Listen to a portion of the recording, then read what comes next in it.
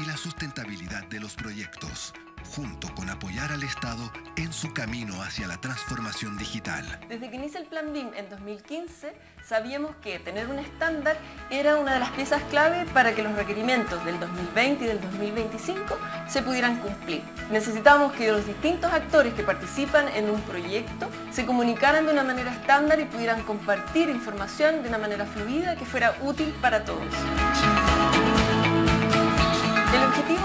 Estándar BIM para proyectos públicos es facilitar la implementación de BIM tanto para las empresas privadas como para las instituciones públicas. A través de este estándar, las empresas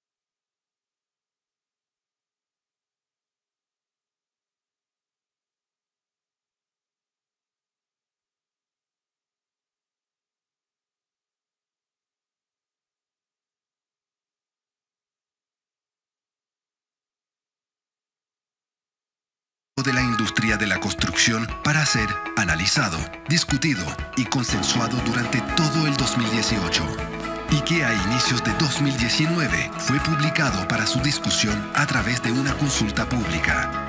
Las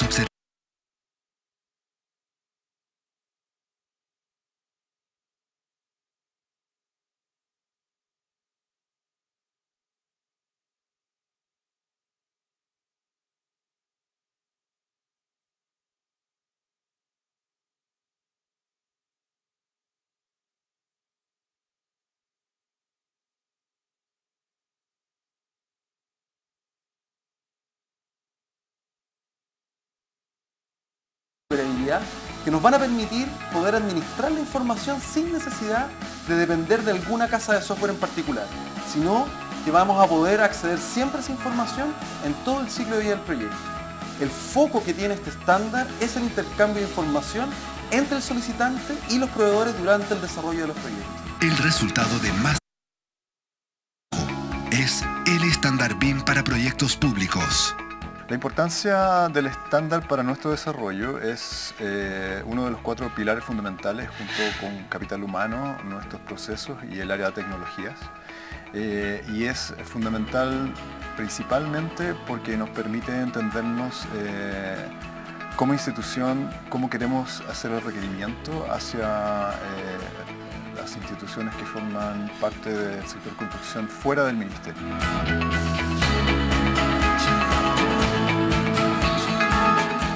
Establecer este estándar base nos va a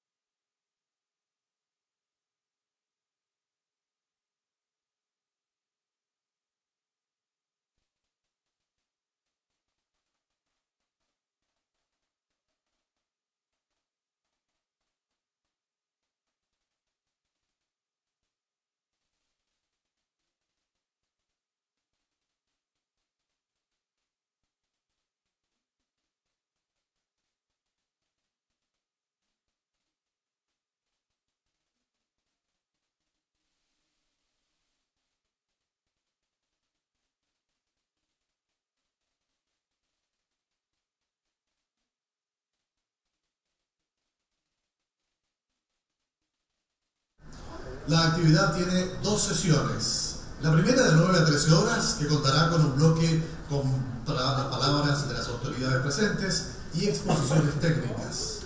Tendremos 30 minutos para un coffee break a media mañana y para finalizar vamos a contar con un bloque de preguntas del público a los expositores. De 14.30 a 17.30 horas tendremos una segunda sesión donde se va a desarrollar una demo del estándar BIM para proyectos públicos aplicado, en la que se va a mostrar en vivo la aplicación de los parámetros mínimos del estándar BIM para proyectos públicos. Para la ronda de preguntas contamos con una aplicación. Los invitamos a ingresar a www.eslido.com. Ahí tienen que introducir el código del evento que es la palabra Plan BIM, todo con letras mayúsculas.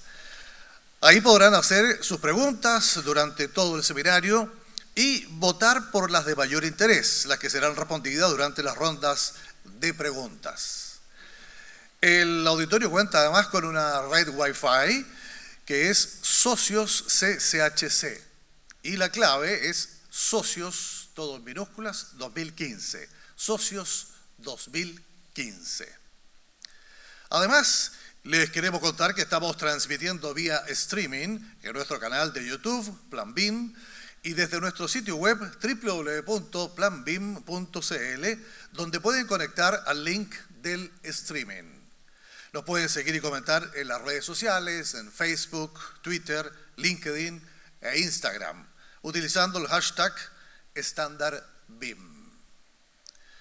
Muy bien, para comenzar queremos saludar especialmente al presidente de la Cámara Chilena de la Construcción, señor Patricio Donoso, al señor Cristian Monkever, ministro de Vivienda y Urbanismo, a la señora Mariana Concha, directora general de Obras Públicas, al señor Robert Ferguson, embajador de Australia en Chile, y al director del Comité de Transformación Digital de Corfo, señor Juan Francisco García.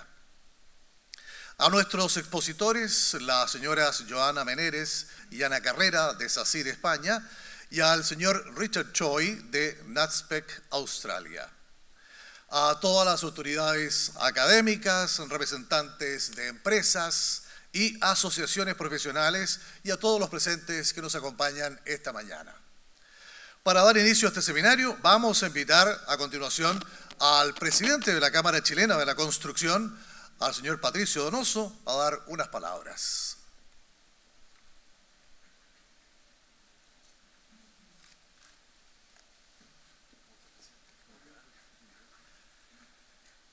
Muy buenos días. Me sumo a los saludos de todas las autoridades aquí presentes, ya mencionadas.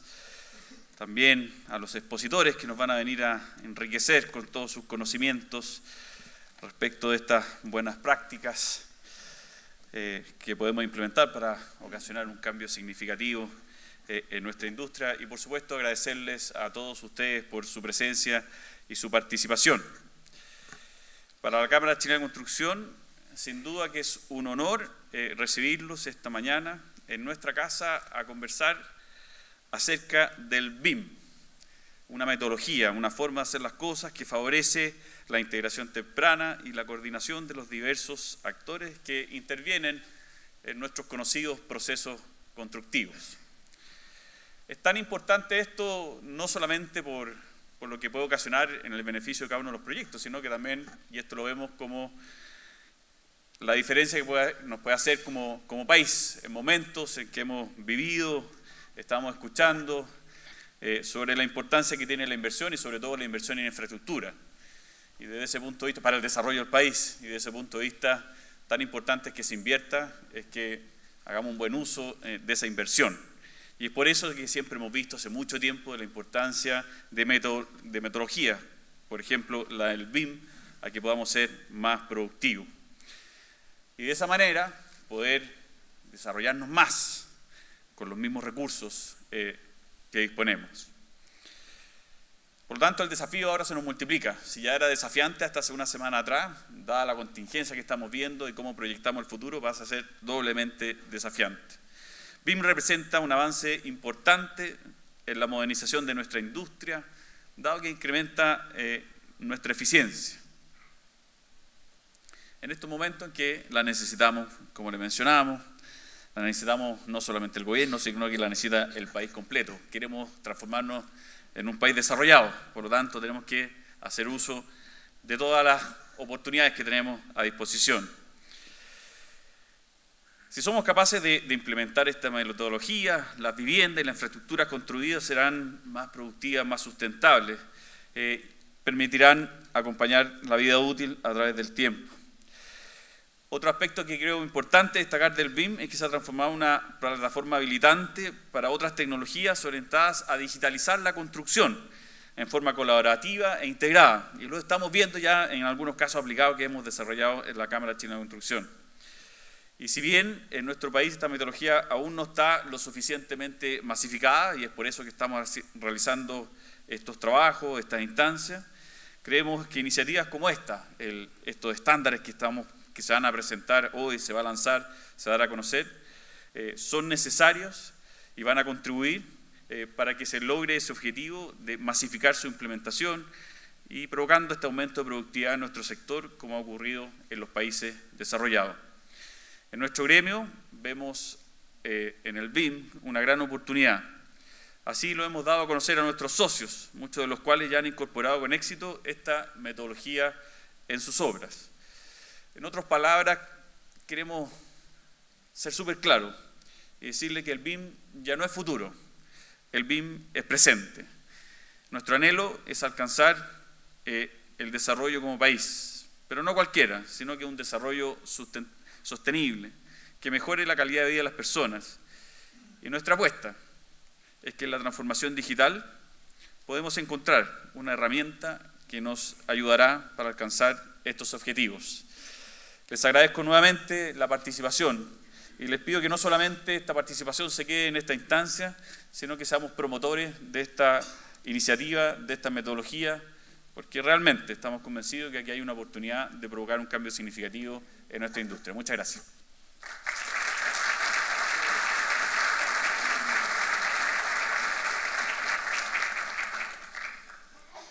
Agradecemos las palabras del presidente de la Cámara Chilena de la Construcción.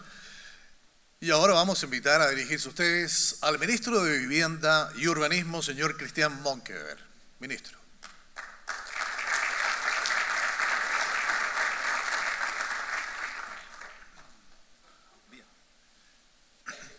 Gracias. Subí con, eh, con este, más que folleto, pues un libro, aquí hay un trabajo de por medio. Primero que todo porque, bueno, felicitarlo, felicitarlo porque aquí hay un trabajo importante que dice relación con lo que es el, seminario, el trabajo y la reunión de hoy, que no es solamente un seminario, una reunión de trabajo, sino que es el resultado de muchas horas, que habla del estándar BIM para proyectos públicos. Eh, y por lo tanto, no solamente hay un trabajo y un resultado, sino que hay muchas horas eh, invertidas en esto y lo conversábamos recién antes de, subir aquí al escenario y, estar y también en el desayuno y con nuestra gente en el ministerio, con la gente del Ministerio de Obras Públicas, que esto surge y nace, y todos lo sabemos, el año 2015 y se empezó a trabajar de buena manera, porque hay una política pública bien diseñada. Se partió desde abajo, se partió involucrando eh, a las universidades, las mallas curriculares hoy día, y me lo comentaban, entiendo que ya en torno a un 90% están o tienen incorporado eh, lo que es en su aprendizaje, en su proceso de aprendizaje, ya que hay muchos estudiantes y personas que están trabajando con, esta con este tema o se están capacitando, está incorporado dentro de sus mallas curriculares, en torno a un 90% según lo que me señalan. Y por lo tanto hemos avanzado del 40 al 90. Y eso da cuenta de una política pública bien diseñada desde abajo, donde los diferentes ministerios, a través de su gente, se han ido capacitando, se han ido formando, han existido mesas de trabajo y efectivamente hoy día los resultados empiezan a estar a la vista. Y esos compromisos hay, los que hay que ir eh, cumpliendo. Nosotros desde el Ministerio de Vivienda, desde la División Técnica, la DITEC, eh, lo asumimos como tal. A mí cuando me toca asumir como ministro de Vivienda, eh, nuestro jefe de división, que muchos de ustedes lo conocen los que no se los presento, don Ervin Navarrete, eh, inmediatamente me señaló dos temas que teníamos que sacar adelante. Uno, el DOM en línea y dos, el BIM. Eh, los dos tienen mucho de relación y también me comentaba que el año 2025, o sea, en un poco tiempo más, uno lo ve lejos, pero en un poco tiempo más, lo importante es que este sistema converse con DOM en línea y haya el máximo de coordinación, porque claramente los dos apuntan a, una misma, eh, a un mismo objetivo, mayor eficiencia. Y en eso estamos trabajando. Y así como dijimos, DOM en línea va y hemos ido, hemos ido siguiendo con el proceso de firmar e incorporar a municipios y digitalizando los procesos, en el caso de BIM exactamente lo mismo. Y no nos quedamos tranquilos con que sea solamente eh, un compromiso nacional, sino que también un compromiso, un compromiso regional. Hay siete países eh, que están interactuando directamente en esta materia y nos parece muy bien que así sea. Y en ese sentido, nuestro equipo ha podido visitar, eh, con mucho gusto, evidentemente, visitar otros países a cargo de don Ervin Navarrete. Eh, también es una, buena posibilidad de ir conociendo otros países, otras realidades, y yo he visto cómo en Argentina, en Brasil, en Costa Rica, en Colombia, en México, en Perú y en Uruguay se ha formado una buena coordinación. Y eso está produciendo resultados. Aparte del agrado de poder visitar esos países, que eso ya es eh, muy buena noticia, también permite esta coordinación, esta coordinación y esta, esta buena interrelación.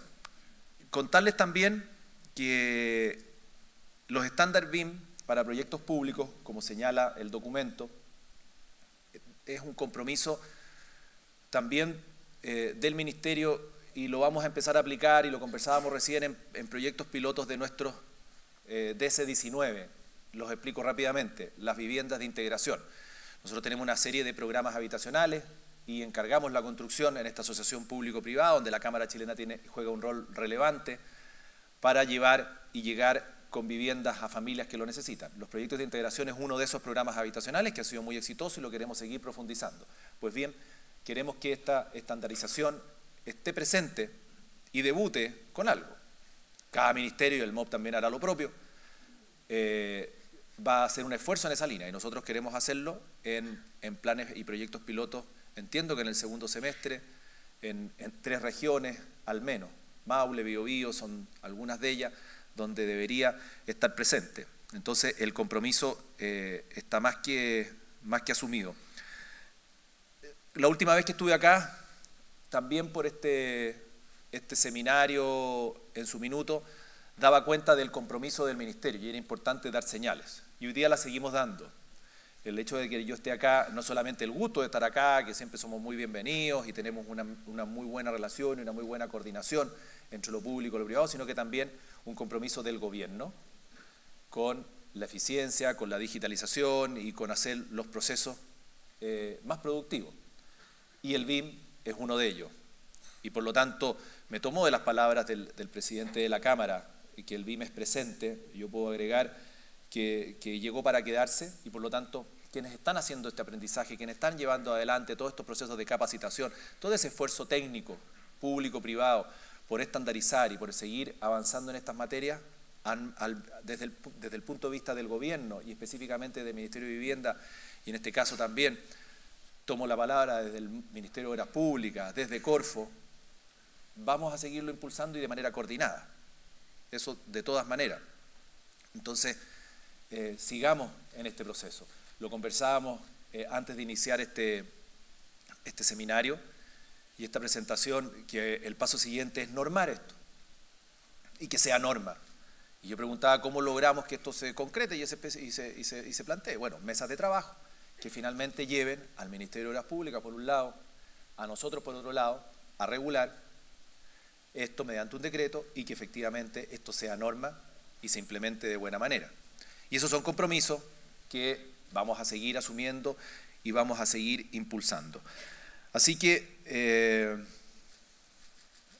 un buen seminario, buenas noticias hoy día, seguimos avanzando, seguimos, seguimos comprometiéndonos eh, con este tremendo proyecto y, en este caso desde el Gobierno y desde el Ministerio de Vivienda, eh, como les decía, compromiso, impulso, desarrollo y, sacar adelante, en este caso, una, una muy buena normativa que yo creo que es uno de los desafíos que se viene por delante, una muy buena coordinación con otros países y evidentemente agradecer a la Cámara chilena, a todos los expositores, a quienes están presentes, a Australia, a su embajador y al mismo tiempo a quienes nos acompañan desde ese país para eh, también eh, enseñarnos y darnos y contarnos sus experiencias en torno a lo que ha sido eh, su realidad nacional y cómo podemos también desarrollarla de mejor manera en Chile y en el resto de la región. Así que muchas gracias por la invitación y que tengan una muy buena jornada de trabajo.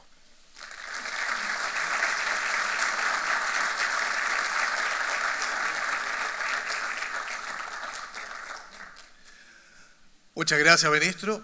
Y a continuación le vamos a dar la bienvenida a la directora general de Obras Públicas, la señora Mariana Concha.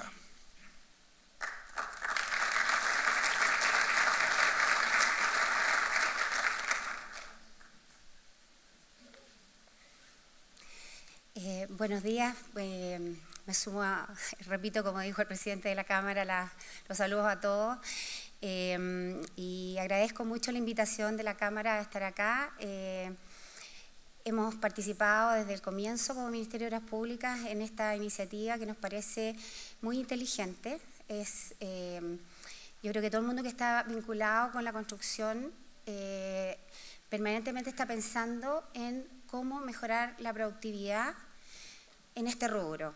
Eh, y no es nada fácil, porque para mejorar la productividad en el rubro de la construcción pasas por aspectos bastante diferentes. Hay aspectos tecnológicos, sin duda, hay aspectos de, que tienen que ver con la manufactura de los, de los diferentes elementos que se usan en, en, la construcción, pero sobre todo hay muchos aspectos culturales que, que, tienen que ver también con la seguridad, que tienen que ver con, con el hacer bien las cosas, con el cariño que se tiene con el trabajo, eh, con que se tenga claro desde el comienzo qué es lo que hay que hacer, que no haya cambios y más cambios y más cambios. Eh, y em, por eso digo que este proyecto para mí es un proyecto muy inteligente, porque estuvo eh, desde el comienzo enfocado a mejorar la productividad del país. Em, y, y yo no creo que en el corto plazo eso lo vayamos a ver. La verdad es que yo creo que esto más bien lo vamos a ir viendo de a poco en el mediano y largo plazo, porque, como dije, estos son cambios culturales y, los cambios culturales hay que basarlos en cosas bien profundas, eh, como lo que se ha hecho, como por ejemplo generar planes de educación que van desde la enseñanza media, la universidad eh, y, formación en los equipos profesionales, en, tanto en los ministerios como en, la industria. Eh, y sin duda un cambio cultural en los profesionales que llevamos tiempo trabajando en el mundo de la infraestructura y que no necesariamente entendemos lo que significa un cambio al sistema BIM. Eh, yo recuerdo que estuve trabajando hasta hace poco en un proyecto muy grande, una central hidroeléctrica, y me parecía lógico inmediatamente eh, eh, instalar BIM en el proyecto. Entonces lo primero que me dijeron los expertos en, túneles, un proyecto que tenía muchos túneles. Me dije, pero ¿para qué vamos a, ¿para qué vamos a instalar bien acá si en realidad es un, túnel? Eh, entonces yo le dije, bueno, pero lógico, le dije, después vamos a querer, primero que nada queremos saber si todo está bien coordinado. Queremos saber si está todo, todo bien planificado. Queremos saber eh, si las especialidades conversan unas con otras. Pero además no queremos estar coordinando cuando ya estemos iniciando la construcción, queremos coordinar antes. Queremos hacer las definiciones antes, queremos eficiencia, no queremos demorarnos. Y luego, cuando queramos, tengamos un problema, porque las obras siempre falla algún material, hay algún problema, queremos saber qué material había en ese tramo de túnel, cómo eh, se ensambló, qué partida de certificado del acero, del blindaje, del pique tenía está ubicado ahí donde, hay, donde es el problema.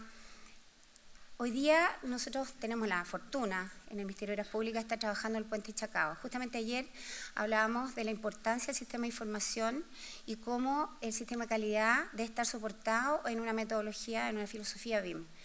Porque el puente Chacao tiene que durar a lo menos 100 años. Y para que en 50 años más el equipo que está ahí pueda saber cómo mantener o cómo hacer frente a, una situación de mantenimiento, sin duda va a tener que tener la información de cuándo se construyó, de cuándo se diseñó, de por qué se diseñó así, de los parámetros de durabilidad. Y por lo tanto, la información es vital. Y hoy día la información solo puede ser digital. aunque comentábamos justamente antes de iniciar el seminario que a todos yo creo nos gusta el papel, nos gusta ver un tema romántico el papel, nos gusta leer en papel. Desgraciadamente el mundo ya maneja una cantidad de información tan grande que no podemos seguir en papel, necesitamos pasar al, mundo digital. Y ya la digitalización es hoy. Y la digitalización genera un montón de beneficios, como hemos dicho, relativos a la eficiencia, a la productividad, pero también genera una serie de desafíos sociales. Uno de los desafíos sociales más importantes es qué va a pasar con la gente no se ha subido a la digitalización. Y lo que tenemos que hacer es transformarnos, yo, veo yo tengo un hijo que estudia ingeniería y todo su mundo es digital. Él no maneja papeles. Él, todo, todo, absolutamente todo lo hace en forma digital. Eh, porque, y no es porque, porque sea una moda, no, es porque el mundo hoy día es así.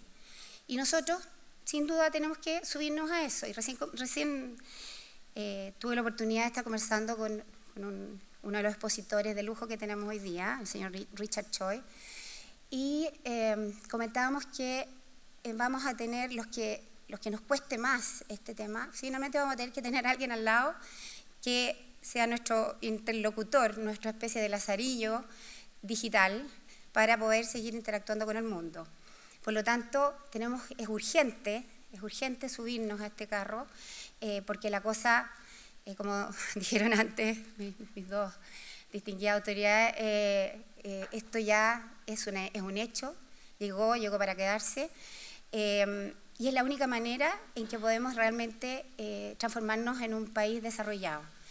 Eh, el resto del mundo ya se está digitalizando hoy, no mañana, hoy, y, y, es la única manera que tenemos para que los recursos, nosotros somos un país con escasos recursos, que a veces se nos olvida, tenemos hoy día un plan de inversión que anunció el presidente de 7 billones eh, de pesos, que es muchísimo dinero, 7 millones de millones eh, para este periodo, y el Ministerio de la República tiene que ejecutar 1,2 billones más o menos, un poquito menos, eh, pero no podemos ejecutarlo sin eficiencia, sin un aumento en nuestra productividad, porque lo que pasa detrás de eso es que una parte importante de ese dinero se pierde, y lo peor que nos puede pasar el presidente ha pedido que seamos sumamente eficientes, estamos en un plan sumamente profundo de revisión de todos nuestros procesos para hacer, para hacer las cosas más baratas, para hacerlas más rápido y de mejor calidad.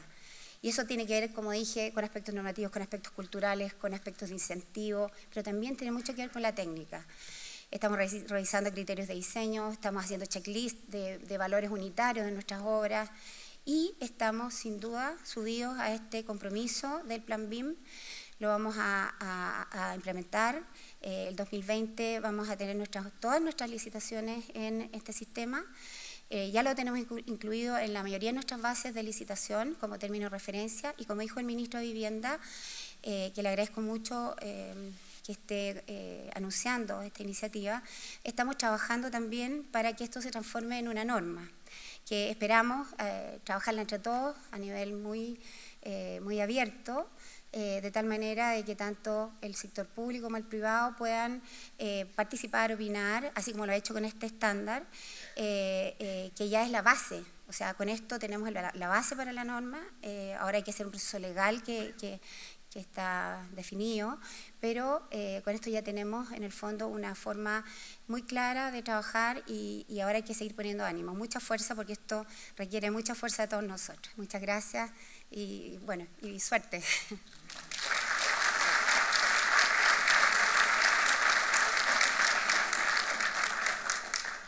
Queremos agradecer las palabras de la directora general de Obras Públicas e invitamos a continuación a dirigirse ustedes al embajador de Australia en Chile, señor Robert Ferguson.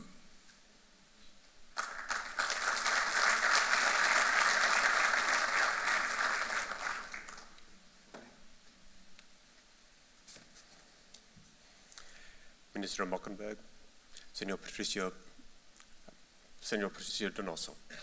Muy buenos días a todos. Es un gran placer para mí estar aquí hoy día en el lanzamiento de esta iniciativa tan muy importante, como lo son los estándares de BIM para proyectos públicos.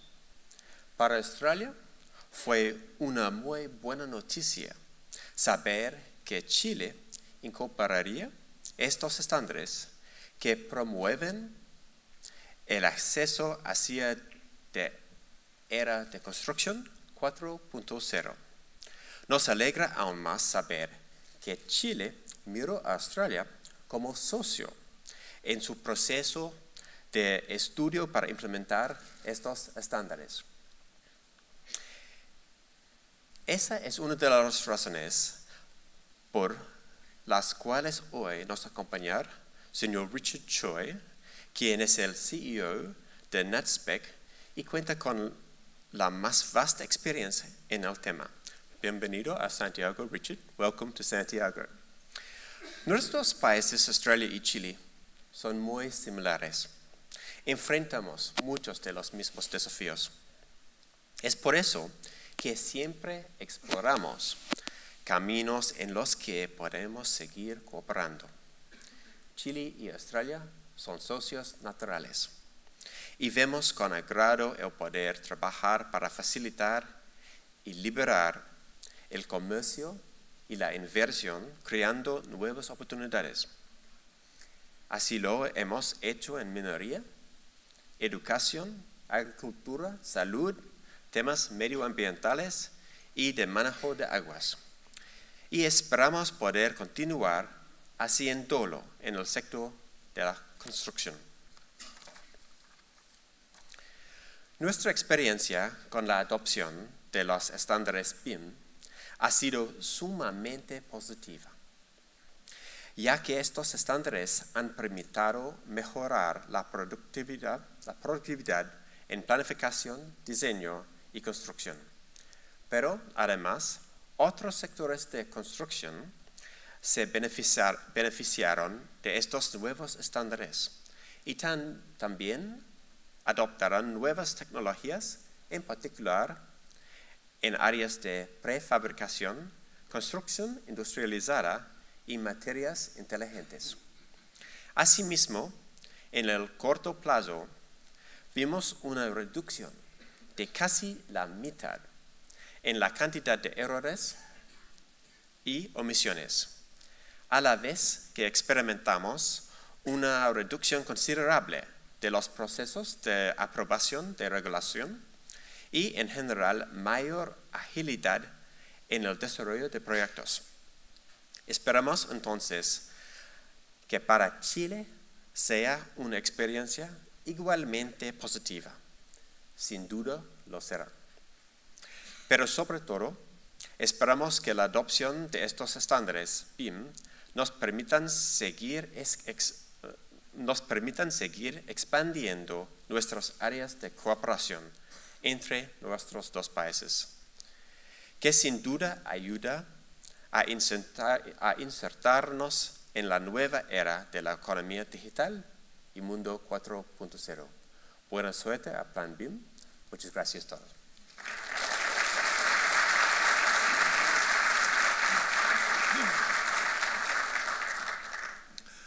Muchas gracias, señor embajador. Les queremos contar esta mañana también que el vicepresidente ejecutivo de Corfo, Sebastián Sichel, por temas de agenda, no ha podido asistir hoy, pero nos ha enviado a través de un video un mensaje.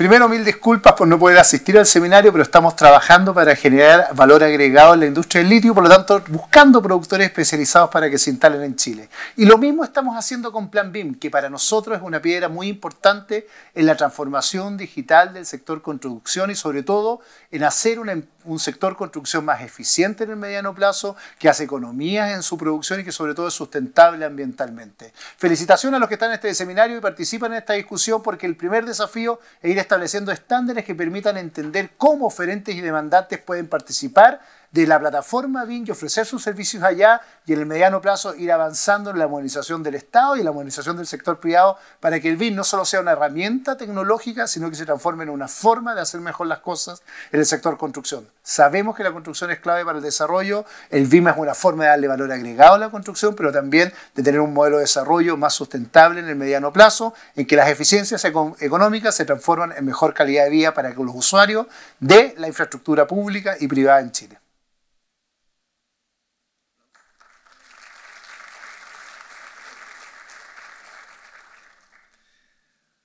Muy bien, y a continuación y para finalizar este bloque, nos va a entregar unas palabras el director del Comité de Transformación Digital, señor Juan Francisco García.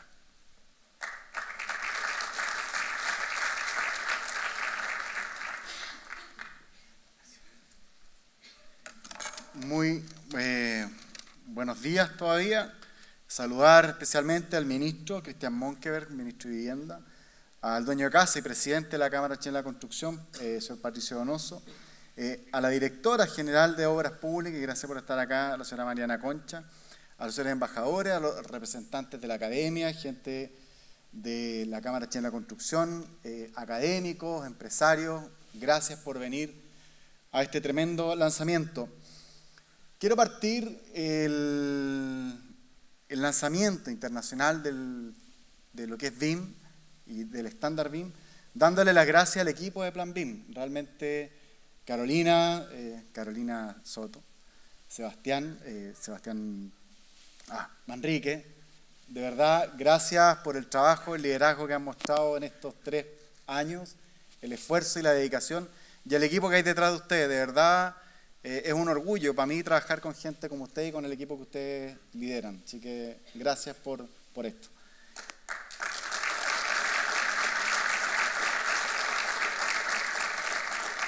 Segundo, eh, bueno, ya lo decía el vicepresidente ejecutivo de Corfo, traigo su saludo, él no puede estar acá, está ya con todo lo que está haciendo, está buscando inversión para el litio. Y eh, bueno, contarle que el Comité de Transformación Digital eh, nace como Comité de Industrias Inteligentes y hoy día estamos a cargo de la transformación digital en distintas industrias y también de a contar de marzo de lo que es Chile Territorio Inteligente, que está orientado a democratizar o a sacar del eje la Alameda lo que es el concepto de Smart City. Por eso que le hemos querido llamar territorio inteligente para que eh, ciudadanos, académicos, alcaldes, concejales de Arica Punta entiendan el concepto que no es solamente Smart City, que no es eh, la, la scooter eléctrica o la electromovilidad en Santiago, sino que tiene que ver con medio ambiente, salud, construcción, fomento productivo, es mucho más integral. ¿Por qué hago y explico un poco qué estamos haciendo como Comité de Transformación Digital? Porque si nosotros tenemos que hacer algo es desarrollar el fomento y la industria y la inversión en Chile.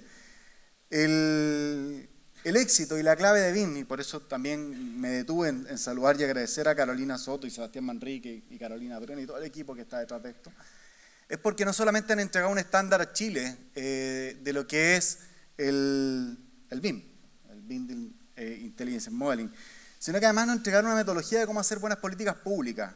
Eh, lo explicaba muy bien el ministro Cristian Monkeberg, eh, de que el BIM parte, y hoy día nosotros, y todavía no se licita o no se hace la primera licitación con este estándar desde los servicios públicos, desde vivienda, desde el MOB o desde algún municipio. Pero ya se está enseñando BIM en los liceos técnicos profesionales, ya se está haciendo BIM en la academia, ya hay diplomados de BIM en las universidades, ya hay gente preparada haciendo BIM en los ministerios de Obras Públicas y Vivienda, y ya las constructoras eh, están construyendo en BIM. Y ese trabajo habilitante, esa es la labor que hacemos como Comité de Transformación Digital. Lo estamos haciendo en salud, con todo lo que tiene que ver con la interoperabilidad eh, médica de los hospitales médicos de manera que la información pueda ser compartida, pero la enseñanza es del BIM, es una metodología, es una muy buena forma de instalar políticas públicas, bottom up, le dicen los más. Y es eso, es eh, educar, generar competencia, perfiles de competencia. Eh, el ministro Nicolás Monque, el 20 de marzo, eh, lanza el programa de formación de BIM para los obreros de la construcción a través del CENSE 2.0. Es decir, realmente hay toda una corriente para poder llegar a BIM antes de licitar en BIM. Creo que el anuncio que hacía la, señora Mariana Concha hoy día, directora de, de, ah, de Obras Públicas, es un tremendo anuncio que el 2020 vamos a tener nuestras primeras licitaciones a partir del Estado en BIM. Es un tremendo anuncio. Y eso es gracias a todo un trabajo metodológico que hay detrás. Eh, hoy día Chile nos ponemos como líder latinoamericano en lo que es BIM y vamos a ser capaces de exportar no solamente eh, constructoras que vayan a hacer BIM afuera, sino que también profesionales y metodología y académicos de que vayamos a contar y a, enseñar BIM a otras latitudes. Eh, nos ponemos a disposición eh, como Comité de Transformación Digital para seguir ayudando en esta transformación, para seguir desarrollando el estándar. Nos ponemos a disposición, ministro, y, y hágale llegar también al ministro de Obras Públicas, que como Comité de Transformación Digital queremos ser habilitantes y si tenemos que seguir trabajando para que el BIM realmente logre eh, desarrollar la industria de la construcción y además irradiar conocimiento a otros sectores productivos, eh, es nuestro rol como Corfo y eso lo tenemos súper claro. Quiero felicitar a los asistentes, darle las gracias, eh, porque realmente hoy día estamos viviendo un quiebre en lo que es la forma constructiva. Es, es el inicio, en realidad, de una muy buena tarea que nos queda pendiente por delante pero es el inicio de la era digital, es el inicio de la transformación digital y es la invitación a que en conjunto, público, privado y academia, podamos desarrollar la industria del país y no llegar a placer a lo que es la cuarta revolución industrial, sino que hoy día somos los líderes y podemos ser los líderes en lo que es la transformación digital en la industria de la construcción en Latinoamericana, gracias al esfuerzo que van a hacer todos ustedes en transformar sus empresas y su industria en esta revolución industrial. Muchas gracias.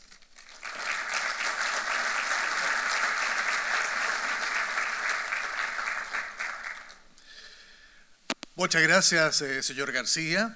Y así damos por inaugurado oficialmente este seminario internacional Lanzamiento estándar BIM para proyectos públicos. Para comenzar con las presentaciones de hoy, Queremos invitar a continuación a la directora ejecutiva de Plan BIM de Corfo, Carolina Soto, quien va a exponer sobre la construcción del estándar y avances en la implementación de BIM.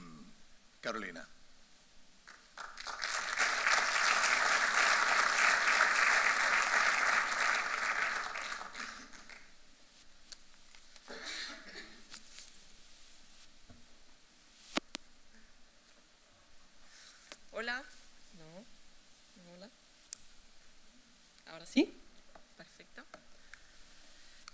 Bien, em, bueno, hola a todos los que están en esta sala, los que están en, hay una sala eh, acá al lado donde tenemos eh, mucha gente más viendo la proyección en directo eh, y también a toda la gente que está viendo este evento en streaming. Em, la verdad es que estamos muy contentos hoy día de estar lanzando el, el estándar BIM para proyectos públicos. Quiero agradecer bueno, principalmente a la Cámara que nos ha dado todo su apoyo en este desarrollo, nos prestó el auditorio y vino eh, su presidente con, las palabras que nos ha dado, a los ministros y a los ministerios que nos están apoyando, vivienda, obras públicas, eh, el Poder Judicial, que están también eh, en el público, y a todos los otros. Quiero agradecer también, eh, lo voy a tratar de hacer corto, sé que vamos un poco atrasados en el tiempo, eh, pero quiero agradecer especialmente al comité del Standard BIM, que están aquí entre la segunda y la cuarta fila, porque son parte importante y clave de lo que se construyó eh, este estándar que estamos lanzando hoy día. A la gente que participó en la consulta pública, y bueno, ya lo dijo Juan Francisco, pero quiero reiterarlo también, al equipo de Plan BIM. La verdad es que el documento que le estamos entregando hoy día es un documento eh, que no es porque venga, viene de cerca la recomendación, pero es un, documento eh, de gran contenido y de gran calidad y que no sería posible si no tuviéramos el trabajo de todo el equipo, de toda la mesa de desarrollo del estándar y también de la gente que participó con sus observaciones. Em, y quiero agradecer, bueno, a todos los que están aquí, hay muchos de ustedes que nos han apoyado desde el inicio de los tiempos, cuando pensar que íbamos a lograr o a empujar una transformación digital como esta en la industria de la construcción era prácticamente eh, imposible. Hoy día estamos lanzando este estándar, eh, un trabajo de tres años, así que queremos agradecer a todos los que nos han apoyado en este, en este desarrollo. Quiero partir diciéndoles que, bueno, el estándar BIM para proyectos públicos, eh, su nombre largo es además intercambio de información entre solicitantes y proveedores, está ya disponible en la página de Plan BIM. Todos ustedes tienen una pulsera que yo no la tengo, pero todos ustedes la tienen, eh, que tiene un código QR. Si ustedes escanean el código QR y dejen la escoba con, el, la presentación, ¿no la paso de nuevo? Gracias. Eh, todo, si ustedes escanean ese código, pueden entrar a la página web de Plan BIM y descargar el, el, el documento, así como una serie de otros documentos que están asociados al estándar eh, y que complementan su información y que son documentos que durante el día les vamos a ir contando cuál es su contenido y cómo funcionan. Primero que nada, eh, les voy a contar por qué es necesario haber hecho un estándar. Eh, partimos esto principalmente enfocados en la meta del 2020, partimos del 2016, fijando que, espero que todos los que están aquí, los que nos están viendo por streaming y en la sala de al lado, lo, lo sepan a estas alturas, tenemos una meta de utilización de BIM en proyectos públicos para el año 2020. Y a partir de esa meta, ¿qué es lo que empieza a pasar? Que tenemos una serie de instituciones públicas que empiezan a requerir BIM, que tenemos una serie de empresas o proveedores que tienen que implementar BIM, pero eh, ¿cómo hacemos eso?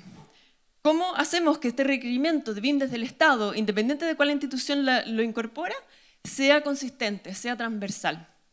Eh, y eso es importante porque hay estudios, por ejemplo, estudios de la, de la Cámara y de la CDT que dicen que para las empresas es muy complejo cuando el Estado les pide una tecnología en una licitación y después en la próxima no se los pide o se los pide de otra manera, porque entonces no tienen certeza de cómo implementar eh, nuevas tecnologías. No queríamos que esto nos pasara también con BIM y por lo tanto nos dimos cuenta que necesitábamos facilitar la implementación de BIM tanto para las instituciones como para eh, las empresas para darle consistencia.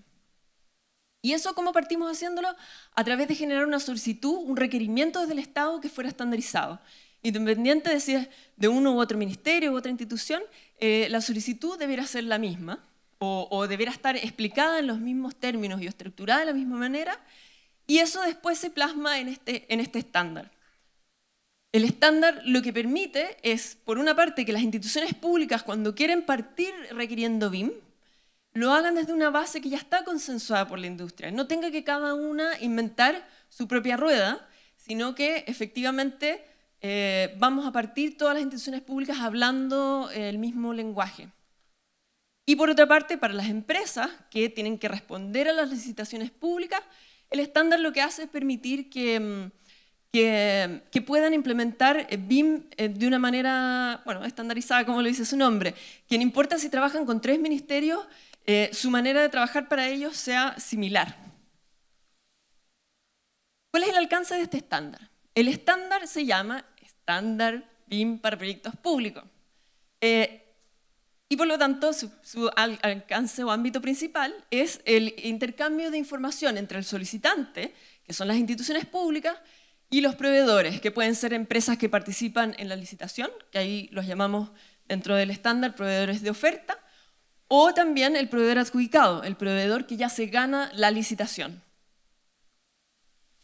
Eh, aquí me, eh, el ministro y la directora me echaron a perder la presentación porque yo les puse aquí bien grande y en rojo que el estándar no era una norma y ahora, eh, fantástico porque nos, nos, dieron más trabajo porque ahora el estándar vamos a tra trabajar para que sea una norma. No, no alcancé a cambiar este slide.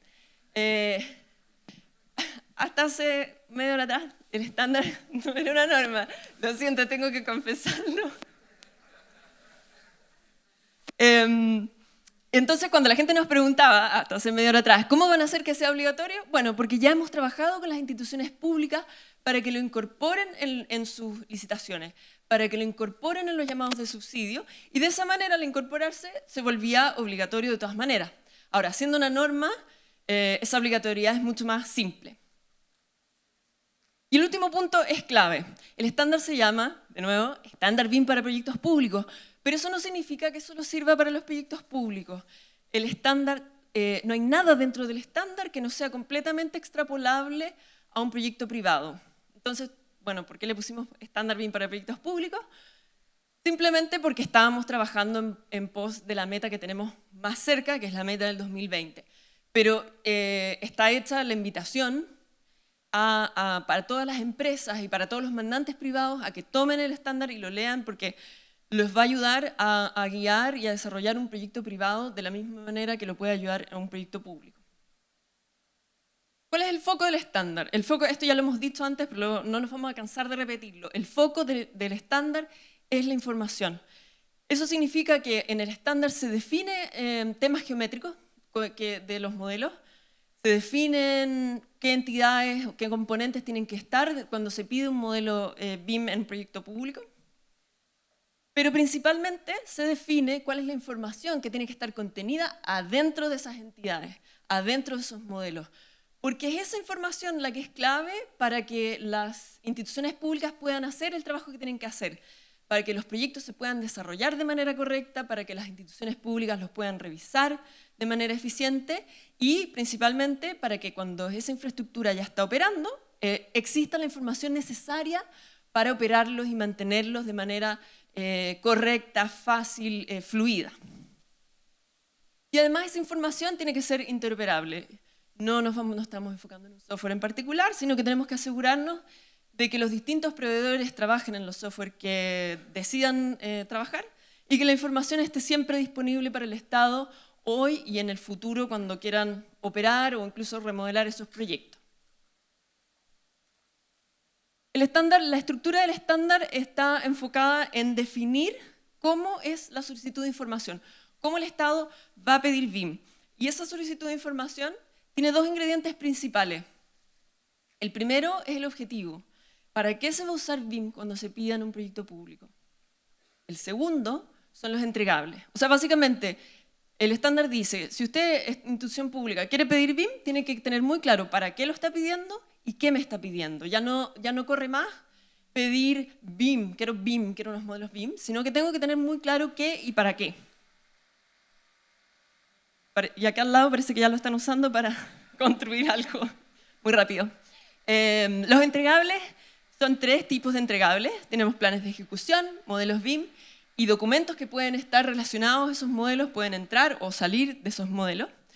Y toda esa información está eh, estructurada dentro del estándar en base a cuatro conceptos. Y si hay una sola cosa que se les queda de hoy día, tienen que ser esos cuatro conceptos. O sea, tienen que ser cuatro cosas, las que se acuerdan. Los cuatro conceptos son usos BIM, tipos de información, niveles de información y estados de avance de la información de los modelos. Toda la información que está dentro del estándar está organizada en base a esos cuatro conceptos. Si ustedes entienden esos cuatro conceptos, el, todo el tema del estándar va a ser bastante simple. Y em, si no me equivoco, todos ustedes tienen una guía, sí, ahí la veo, eh, una guía además, porque no nos pareció suficiente trabajo hacer una estándar, también decidimos hacer una guía, eh, que es un extracto del estándar y que explica efectivamente los, mismos, los mismos lenguajes, digamos, esos cuatro conceptos y cómo se cruzan para estandarizar la información. Entonces, en esa guía que ustedes tienen y que después Sebastián les va a mostrar más en detalle, se explica eh, cómo estandarizar toda la información en los modelos BIM a partir de estos cuatro conceptos y su cruce. Y entonces, ¿cuál es el proceso de desarrollo que hicimos? El proceso de desarrollo parte, parte, del, parte del 2016 con la estandarización de procesos que hicimos y que seguimos haciendo dentro de las instituciones públicas y en conjunto con un trabajo de benchmark de los estándares internacionales. Entonces, ¿de qué se trata esa estandarización de procesos? Eh, hablamos, les hablé recién de que el requerimiento del Estado, la solicitud de información, tiene que ser estándar.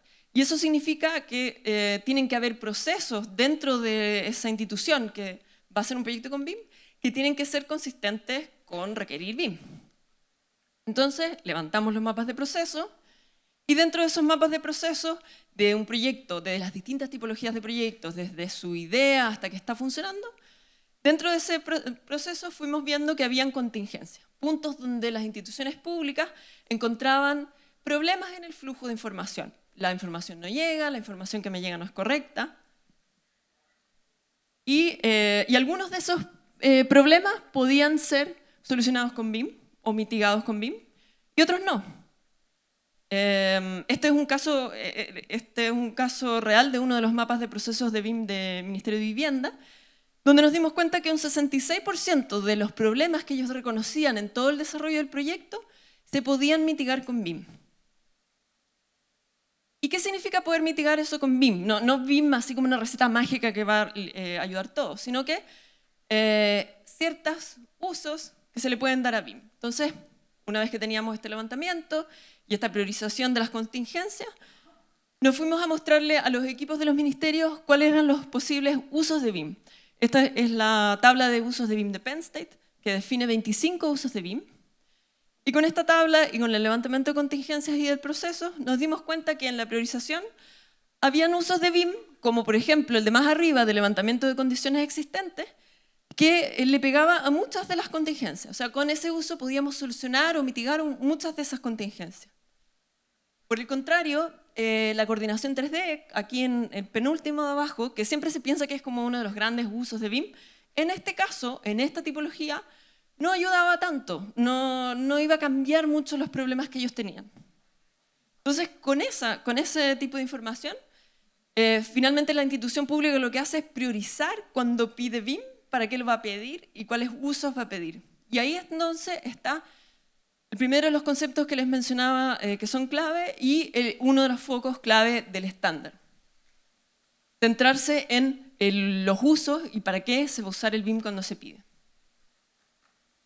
Un segundo foco tiene que ver con, la información que se pide dentro de los modelos o que se saque de los modelos para cumplir con esos usos y esos objetivos.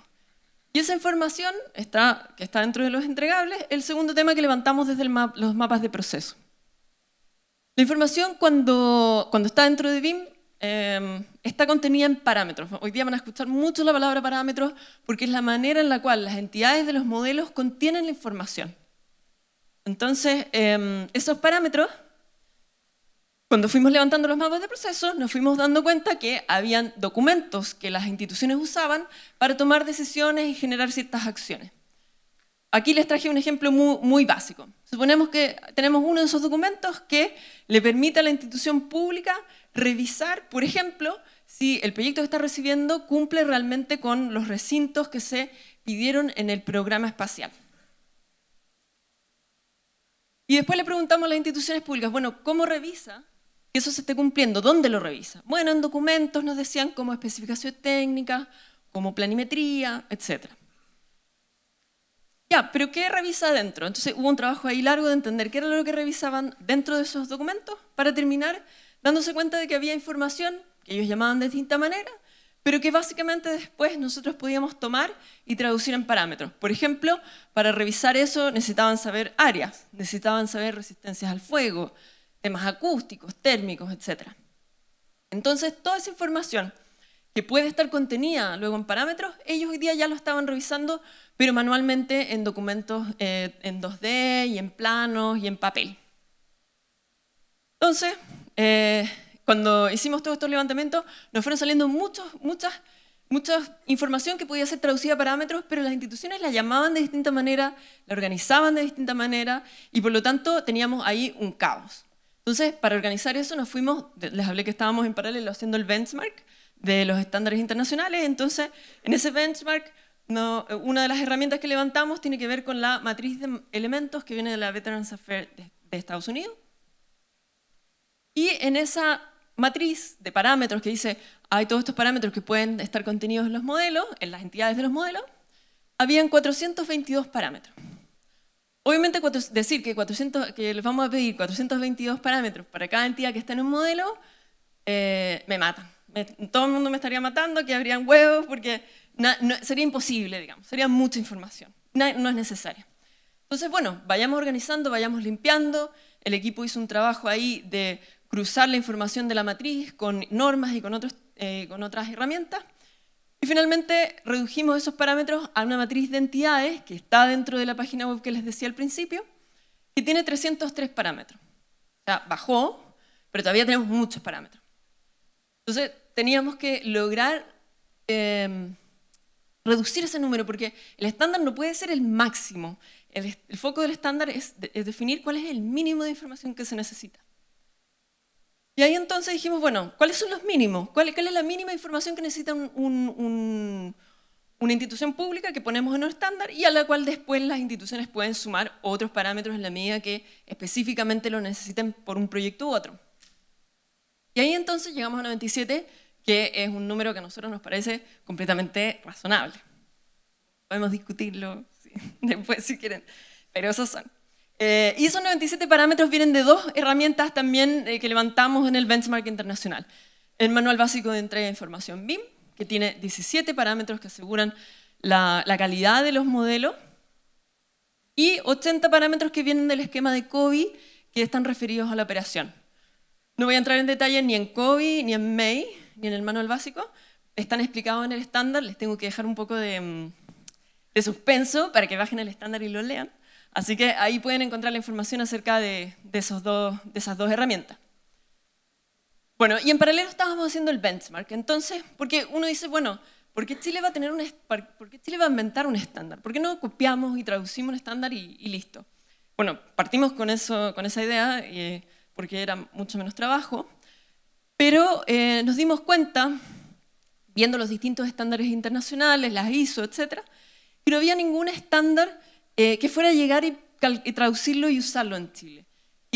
porque por el tipo de mm, economía, industria que tenemos, porque Chile, en Chile no se utiliza generalmente estándares para, mm, para, el, eh, para el desarrollo y traspaso de información en la construcción, no estamos partiendo de la misma base que tenían esos estándares internacionales.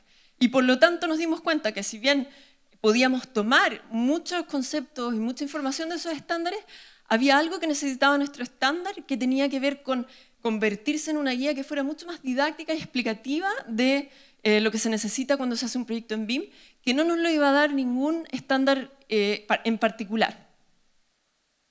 Entonces fuimos tomando información y conceptos de esos distintos estándares y que nos dieron estas tres cosas, la base tecnológica, general y de conceptos que tiene el estándar.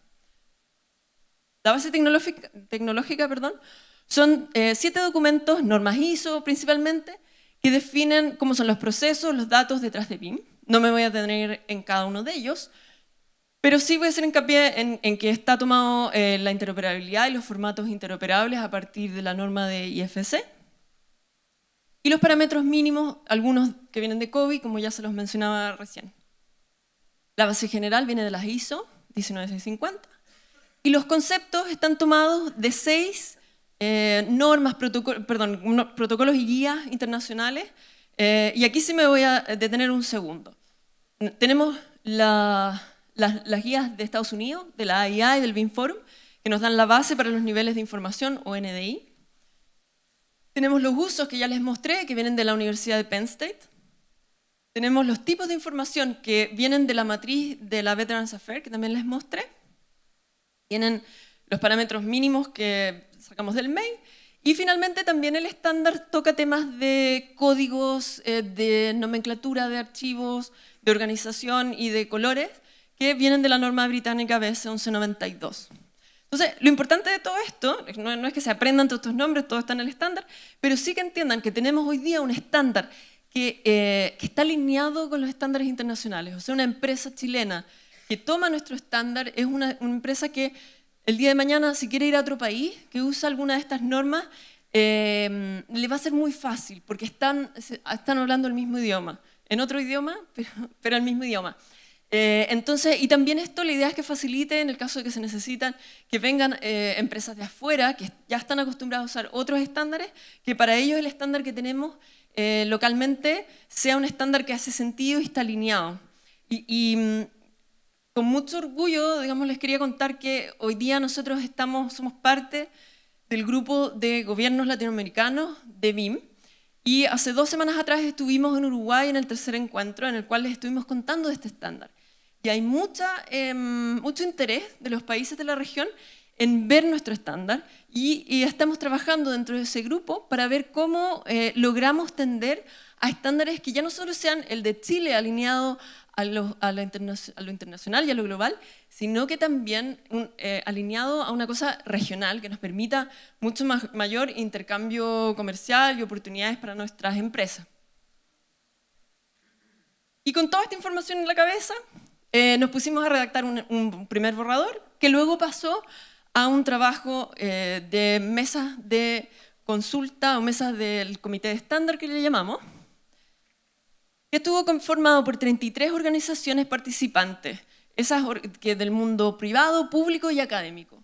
Esas instituciones, esas organizaciones, participaron, de esas instituciones participaron 53 personas, tuvimos 16 mesas, eh, nos juntábamos eh, un jueves, jueves por medio desde mayo del año pasado hasta marzo de este año. La verdad es que quiero reiterar el agradecimiento a todas esas personas porque fueron muchas horas, hubo discusión apasionada y acalorada acerca de BIM, y se rían algunos porque saben que peleamos, eh, pero todo ese trabajo hizo que el estándar que le estamos entregando hoy día sea mucho mejor, eh, mucho más robusto y porque ya sabemos que está aceptado y consensuado y tiene el conocimiento de distintos sectores de nuestra industria. El estándar después pasó por una consulta pública, eh, tuvo hartas descargas, tuvimos hartas observaciones que nos ayudaron también a mejorar el estándar. Queremos agradecer también a toda la gente que participó. Y, todo eso nos trae a hoy día. Hoy día estamos lanzando esta publicación. El estándar está disponible creo que desde anoche eh, para su descarga. Y, em, y el estándar, yo no voy a entrar en detalle acerca del contenido del estándar, eso se lo va a mostrar Sebastián. Eh, pero lo que sí les quiero mostrar es una, última cosa, eh, que tiene que ver con cómo está construido. Hay, una serie de capítulos introductorios que tienen que ver con cosas que ya les he contado, pero hay un capítulo central. si van a leer un solo capítulo del estándar, lean el 5, que es, como el 80% del estándar, pero le estoy haciendo trampa. Eh, ese, ese capítulo me interesa, me interesa lo que está acá a la derecha. Todos los conceptos que les mencionaba antes, toda la estructura del estándar está pensado en hablarle al solicitante, la institución pública, y en hablarle al proveedor, la empresa que tiene que responder a la licitación. Entonces, cada concepto que está ahí está explicado en general y después está explicado cómo aplica la solicitud de información y cómo se incorpora en el plan de ejecución y en los entregables. Entonces, la idea siempre estuvo pensado que sea una guía explicativa para cada, para cada empresa o cada institución que tiene que participar en un proyecto con BIM.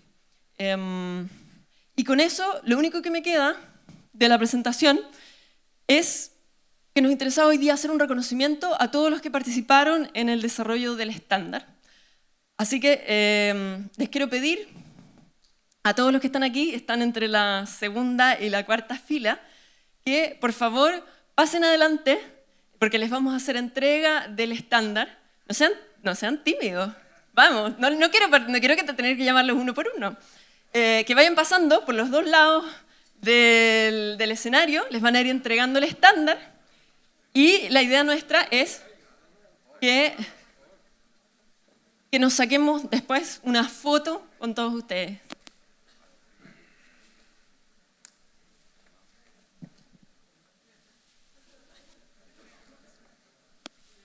Aquí hay, aquí hay gente con la que peleamos.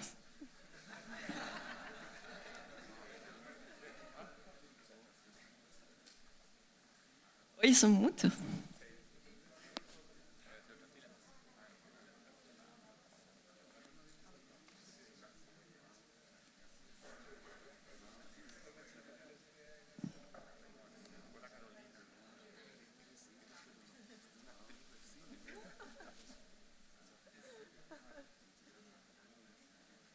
¿Tenemos al, fotógrafo preparado o no? Después de la performance. Necesitamos, parece que, que, nos juntemos un poquito para alcanzar a salir en la foto. Yo también quiero un estándar para salir en la foto, me toca uno, ¿no? No, no hay para mí.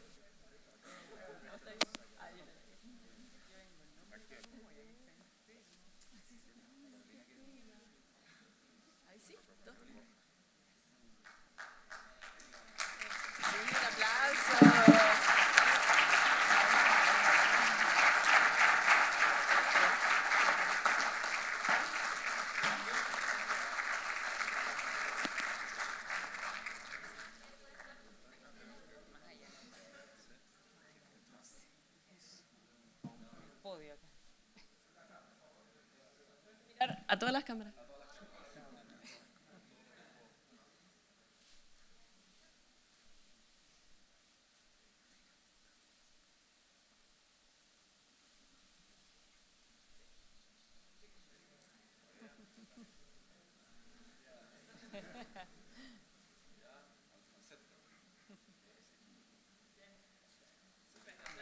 Aplauso.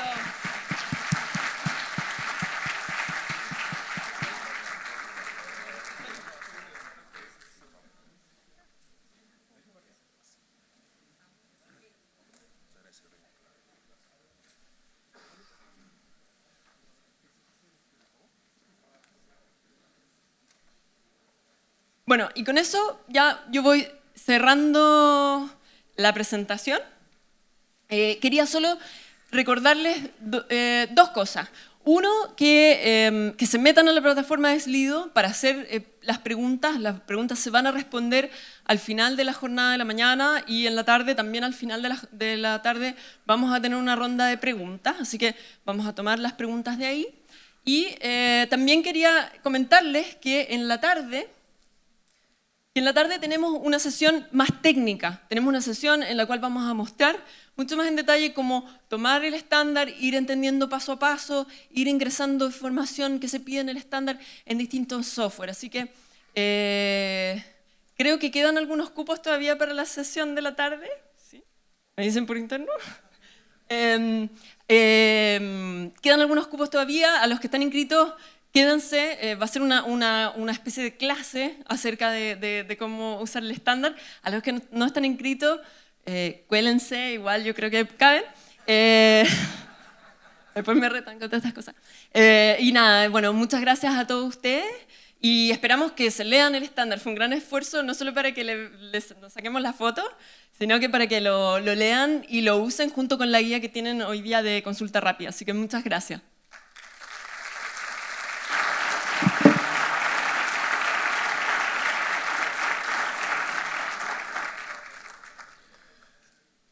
Bien, muchas gracias eh, Carolina.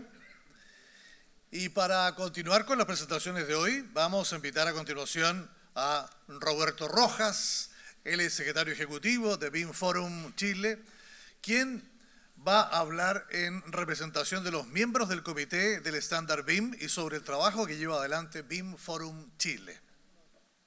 Roberto es arquitecto y magíster en economía energética, con más de 11 años de experiencia en el desarrollo y administración de proyectos en BIM y eficiencia energética. Actualmente se desempeña como secretario ejecutivo de BIM Forum Chile y director de la Librería Nacional BIM en la Corporación de Desarrollo Tecnológico. Bienvenido, Roberto.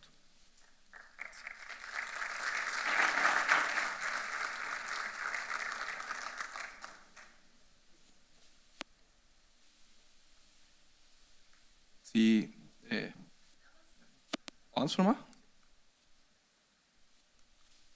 Buenos días, eh, tremenda convocatoria. Felicitaciones a todo el equipo de desarrollo, eh, a Plan BIM, en general a Corfo. Eh, quería agradecerles, para mí es un honor poder estar de alguna forma representando a este grupo de 53 personas, 53 profesionales que estuvimos trabajando en el desarrollo de este estándar.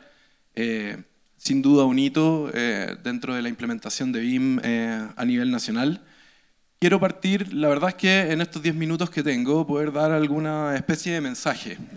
Eh, y quise partir con esta, con, esta, con esta lámina que hemos utilizado en, otros, en otras presentaciones, porque de alguna forma muestra dos partes, dos mundos, dos visiones, una en la cual tenemos un grupo de personas que están en esta pared a partir de estas fotografías, participando de eh, los cambios que están ocurriendo hoy día, participando de la implementación, participando de estar en sus empresas, eh, evangelizando, dando a entender de qué se trata BIM.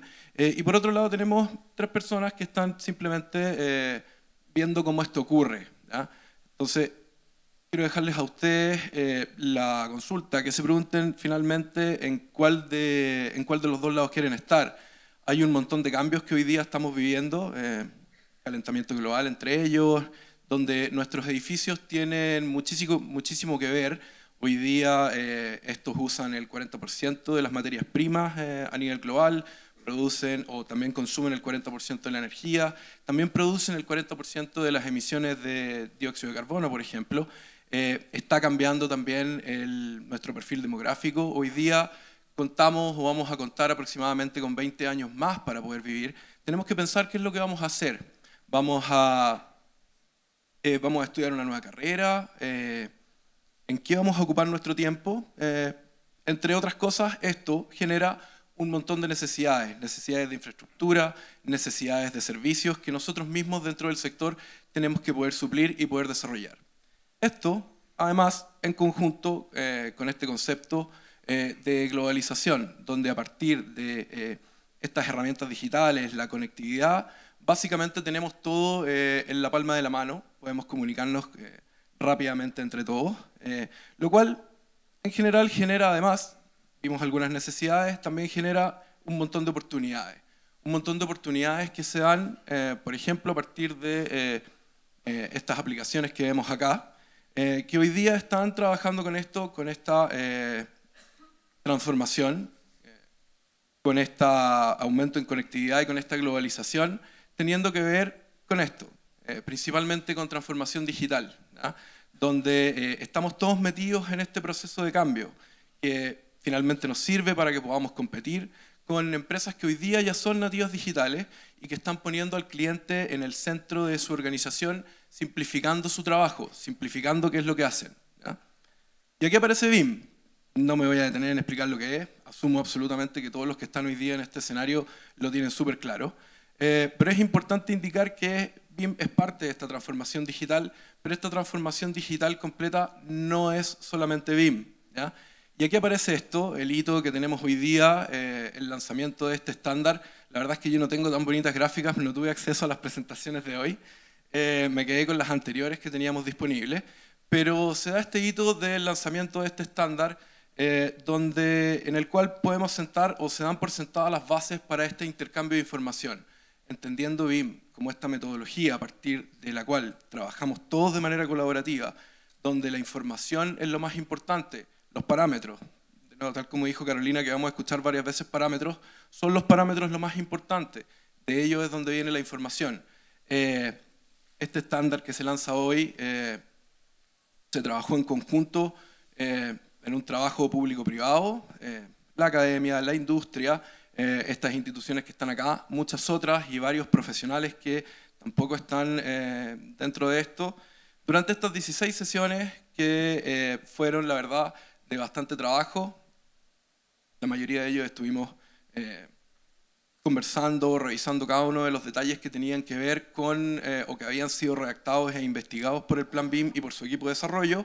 Eh, en algunas con más discusión, en otras con menos, algunos más porfiados, otros menos porfiados en el desarrollo, pero finalmente tenemos el estándar, que finalmente lo que viene a reforzar es esto, el trabajo colaborativo, Sabemos que BIM es trabajo colaborativo y lo mismo se dio durante el desarrollo del estándar entre eh, industria, nuevamente, eh, academia, sector público, sector privado.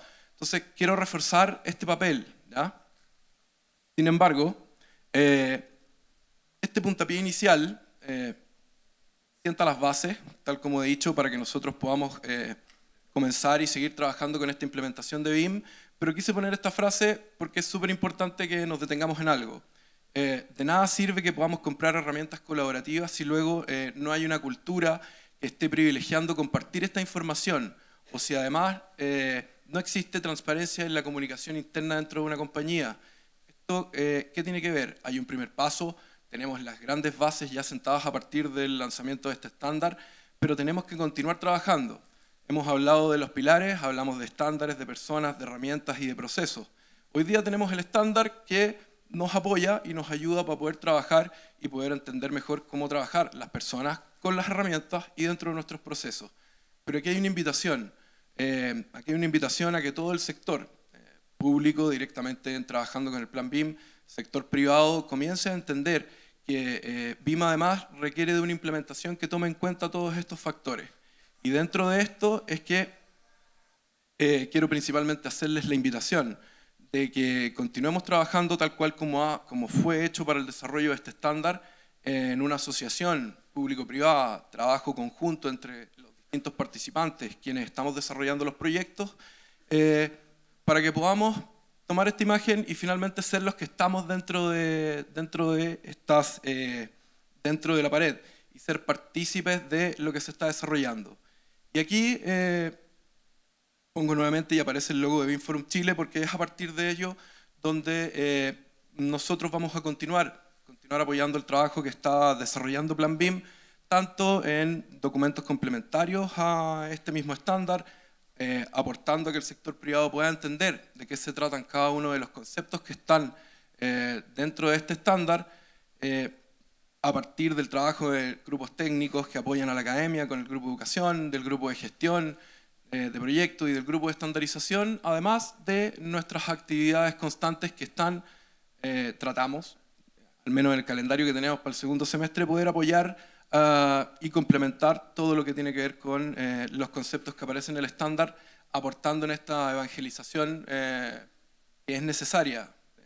Hoy día hay más de 300 personas acá en este auditorio que conocen lo que es BIM, pero hay muchísimos más afuera que están viendo hoy día esta presentación, ya sea en la sala del lado o en el streaming, que están aprendiendo y es necesario que todos sigan aprendiendo. Entonces, finalmente la invitación es esta, y por eso quise eh, dar más un mensaje que ir a, algo técnico, donde los invito a que todos continuemos trabajando, que tomemos en cuenta estos pilares para poder seguir implementando BIM, eh, donde el trabajo de este grupo, de esta mesa del estándar, es un ejemplo y fue aportar al primer paso, que era la generación de este estándar. muchísimas gracias.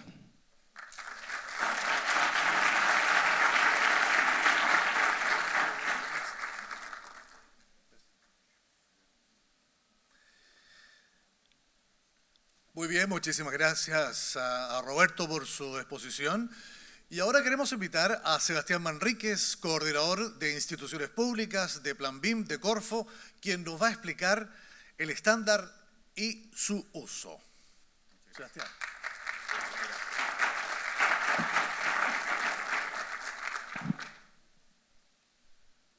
Bueno, Primero que todo quiero agradecer la convocatoria a todas las personas que están acá. Eh, la verdad es que estamos muy, muy contentos de todo el trabajo que se ha desarrollado. Carolina pudo presentar un extracto de un, en un breve resumen, ¿no es cierto?, qué es lo que hemos hecho para esto. La verdad es que ha tomado harto tiempo. Primero, en un principio sabíamos que teníamos que desarrollar un estándar, pero no, no sabíamos bien qué cosas eran las partes que teníamos que colocar.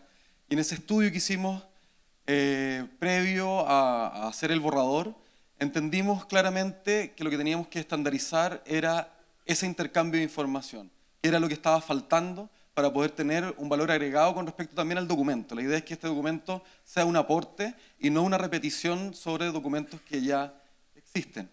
A mí me toca hoy día la tarea de poder explicar eh, cómo funciona el estándar, cuáles son las referencias que tienen y de qué manera se administra.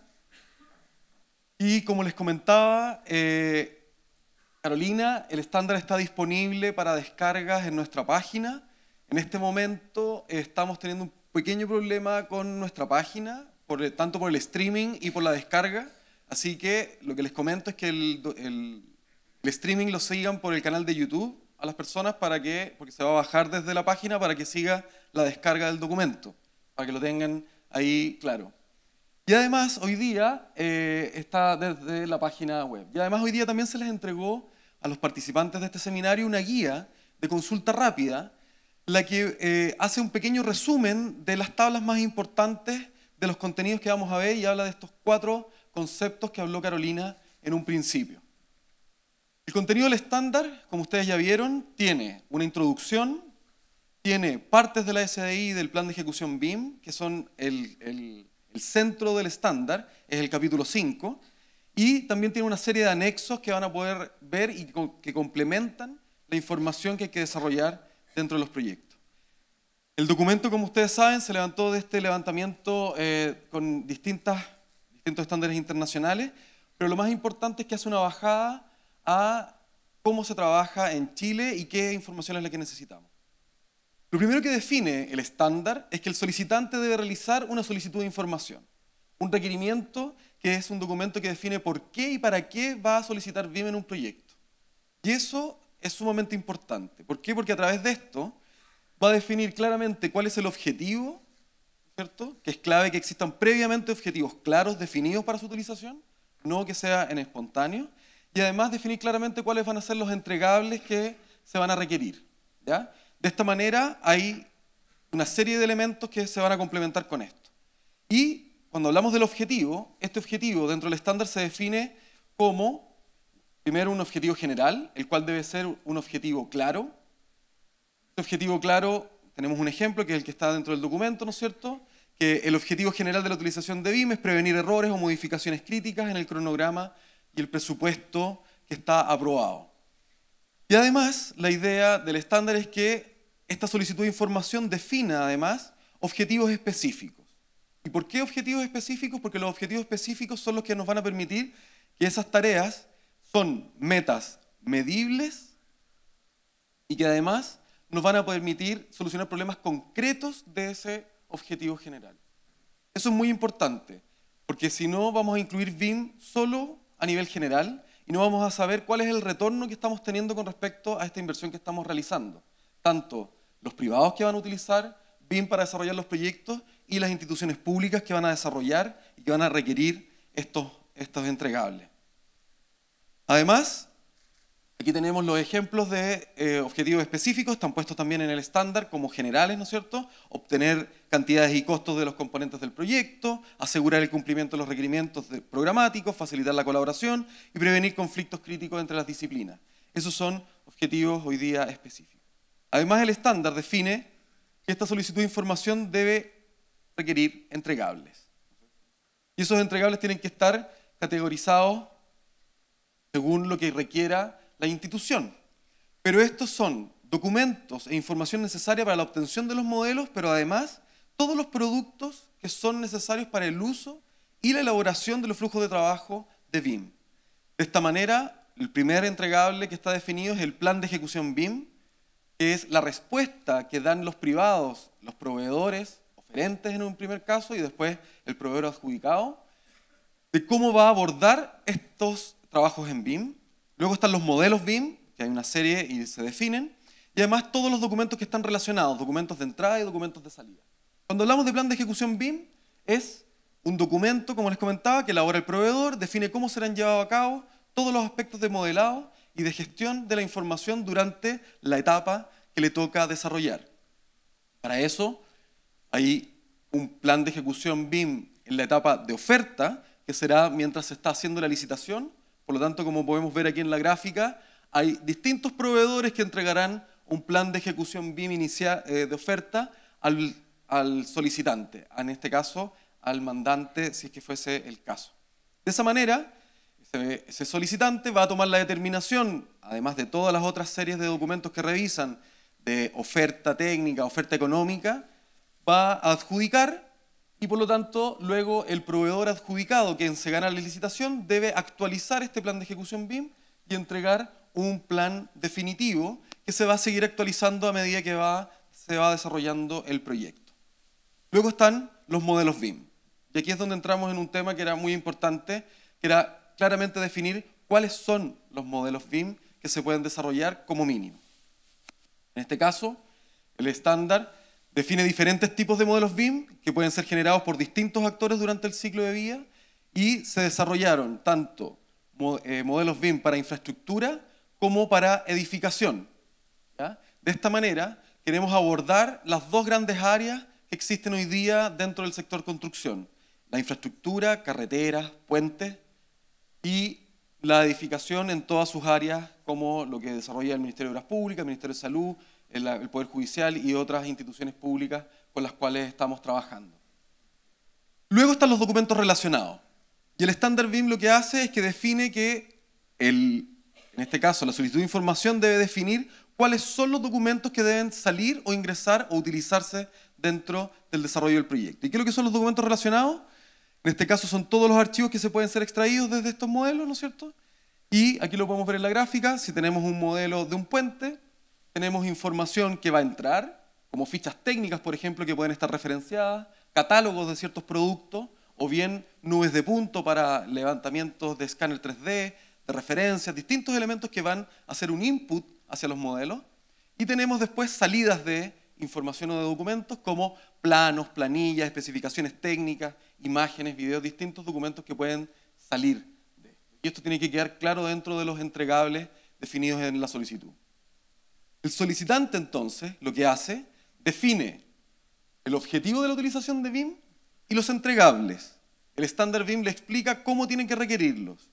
Y luego el estándar se hace cargo del resto de las definiciones para que de esta manera las personas están trabajando dentro de las instituciones públicas no tengan que tener un conocimiento tan acabado sobre BIM, sino que entender exactamente cuáles son, cuál es el valor agregado para ellos y cuáles son los objetivos que deben cumplir. El estándar BIM define cuáles son los modelos BIM. Existen nueve tipos de modelos que se desarrollaron, que se pueden generar dentro de los proyectos de edificación e infraestructura. Estos están dependiendo de la etapa ¿no es cierto? en la cual estamos desarrollando, en qué estado de avance la información lo vamos a requerir. Y ahí podemos ver cada uno de ellos, el, el modelo de sitio, volumétrico, de arquitectura o diseño de infraestructura, dependiendo en qué línea estamos, estructura, los de instalaciones MEP, de coordinación, construcción, as-built y finalmente operación. Esto lo pueden ver también en la página 6 de la guía de la consulta rápida que tienen ustedes y es uno de los conceptos que van a poder encontrar dentro de esta guía. Además, el estándar BIM define las entidades. ¿Cuáles son las entidades mínimas que se requieren dentro de cada uno de los elementos? Se definieron en este caso una serie de entidades que, están, son las que van a estar contenidas dentro de, dentro de estos modelos BIM y eso lo pueden ver dentro de la guía de consulta. Ahí va a ir saliendo en qué página se puede ir revisando qué es, eh, cómo es la tabla y cuáles son las definiciones que se tienen. El estándar entonces además lo que hace es que empieza a cruzar información. Entonces, el estándar cruza cuáles son las entidades mínimas para cada tipo de modelo BIM. En este caso, se definen los nueve tipos de modelos por las entidades y hay una serie de puntos que indican que esa entidad debe estar dentro del modelo o bien con un asterisco cuando el elemento está sugerido. Si nos vamos a un ejemplo, tomamos el modelo de estructura, vamos a ver que hay una serie de entidades que tienen que estar dentro de ese modelo. Por lo tanto, el equipo que va a partir con este modelado sabe que tiene que incluir ciertas entidades. Y la persona que revisa, en este caso por parte del solicitante, sabe exactamente qué información es la que tiene que venir dentro de ese modelo y qué otra información tienen que dejar de lado. Aquí vemos en este caso como ejemplo las entidades que debiesen estar dentro del modelo de estructura. Pero esto no es suficiente, ¿cierto? entendiendo claramente cuáles son los modelos y cuáles son las entidades que van a ir dentro de, los, de estos modelos, no es la información completa que necesitamos para poder seguir avanzando en este tema de BIM. Entonces aquí hay un tema que es muy, muy importante, que lo comentó ya Carolina, que tiene que ver como en la generación de información. Las instituciones públicas, cuando empezamos a hacer el levantamiento de los procesos, nos dimos cuenta que desarrollaban un proyecto de una institución pública. Así entramos. Partimos trabajando con el Ministerio de Obras Públicas, vimos una tipología de un proyecto y vimos cómo funcionaba. Y nos dimos cuenta que habían distintas etapas, con un proceso, y en cada una de estas entregas que se desarrollaba, en cada uno de estos procesos etapas, se generaban distintas cantidades de información. Parámetros que se necesitaban algunos en mayor cantidad o en menor cantidad dependiendo de la etapa en la cual estábamos.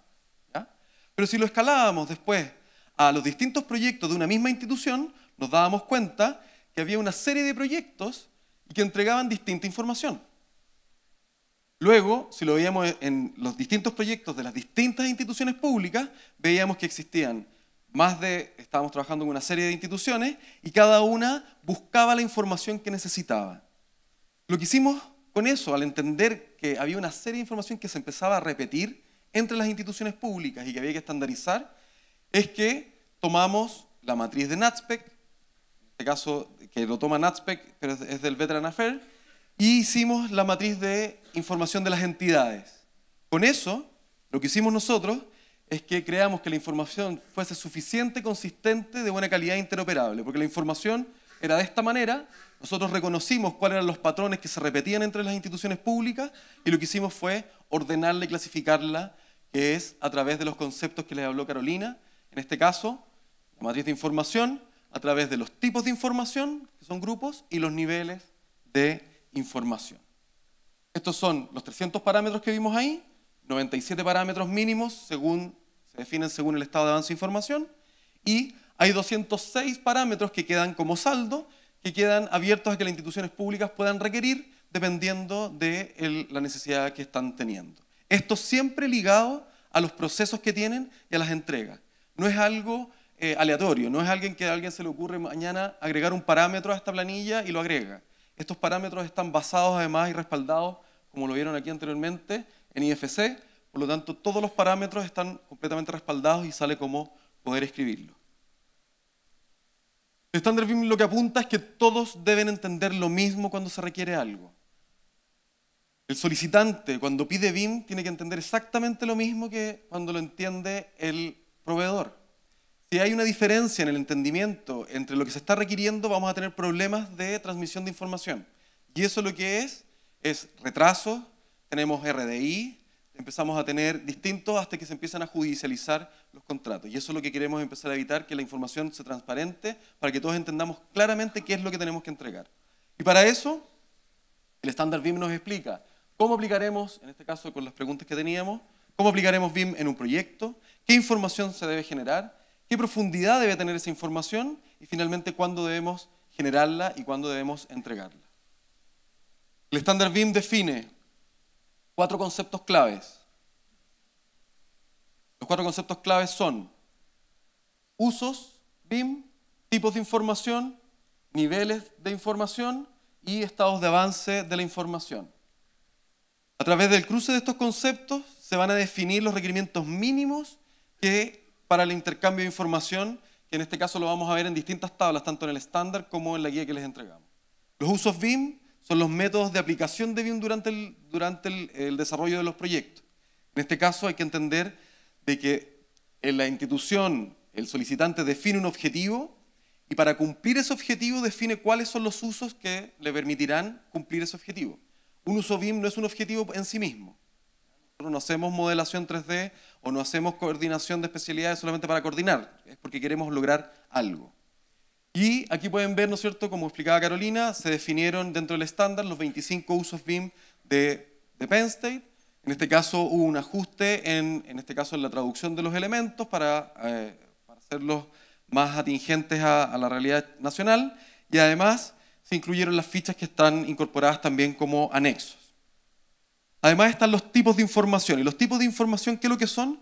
Son 15 grupos que lo que hacen es que reúnen esta matriz de parámetros, los parámetros que tenemos, todos los datos que pueden estar contenidos en las entidades de los modelos. Estos datos están organizados según la utilización que se le puede dar a la información durante el ciclo de vida. Y de esta manera, la persona o los equipos y también las instituciones públicas no tienen que aprenderse los parámetros de memoria, sino que, porque es muy difícil aprendérselos de memoria los 303 parámetros, sino que es más fácil entender para cada etapa cuáles de los 15 tipos de información son los que vamos a necesitar.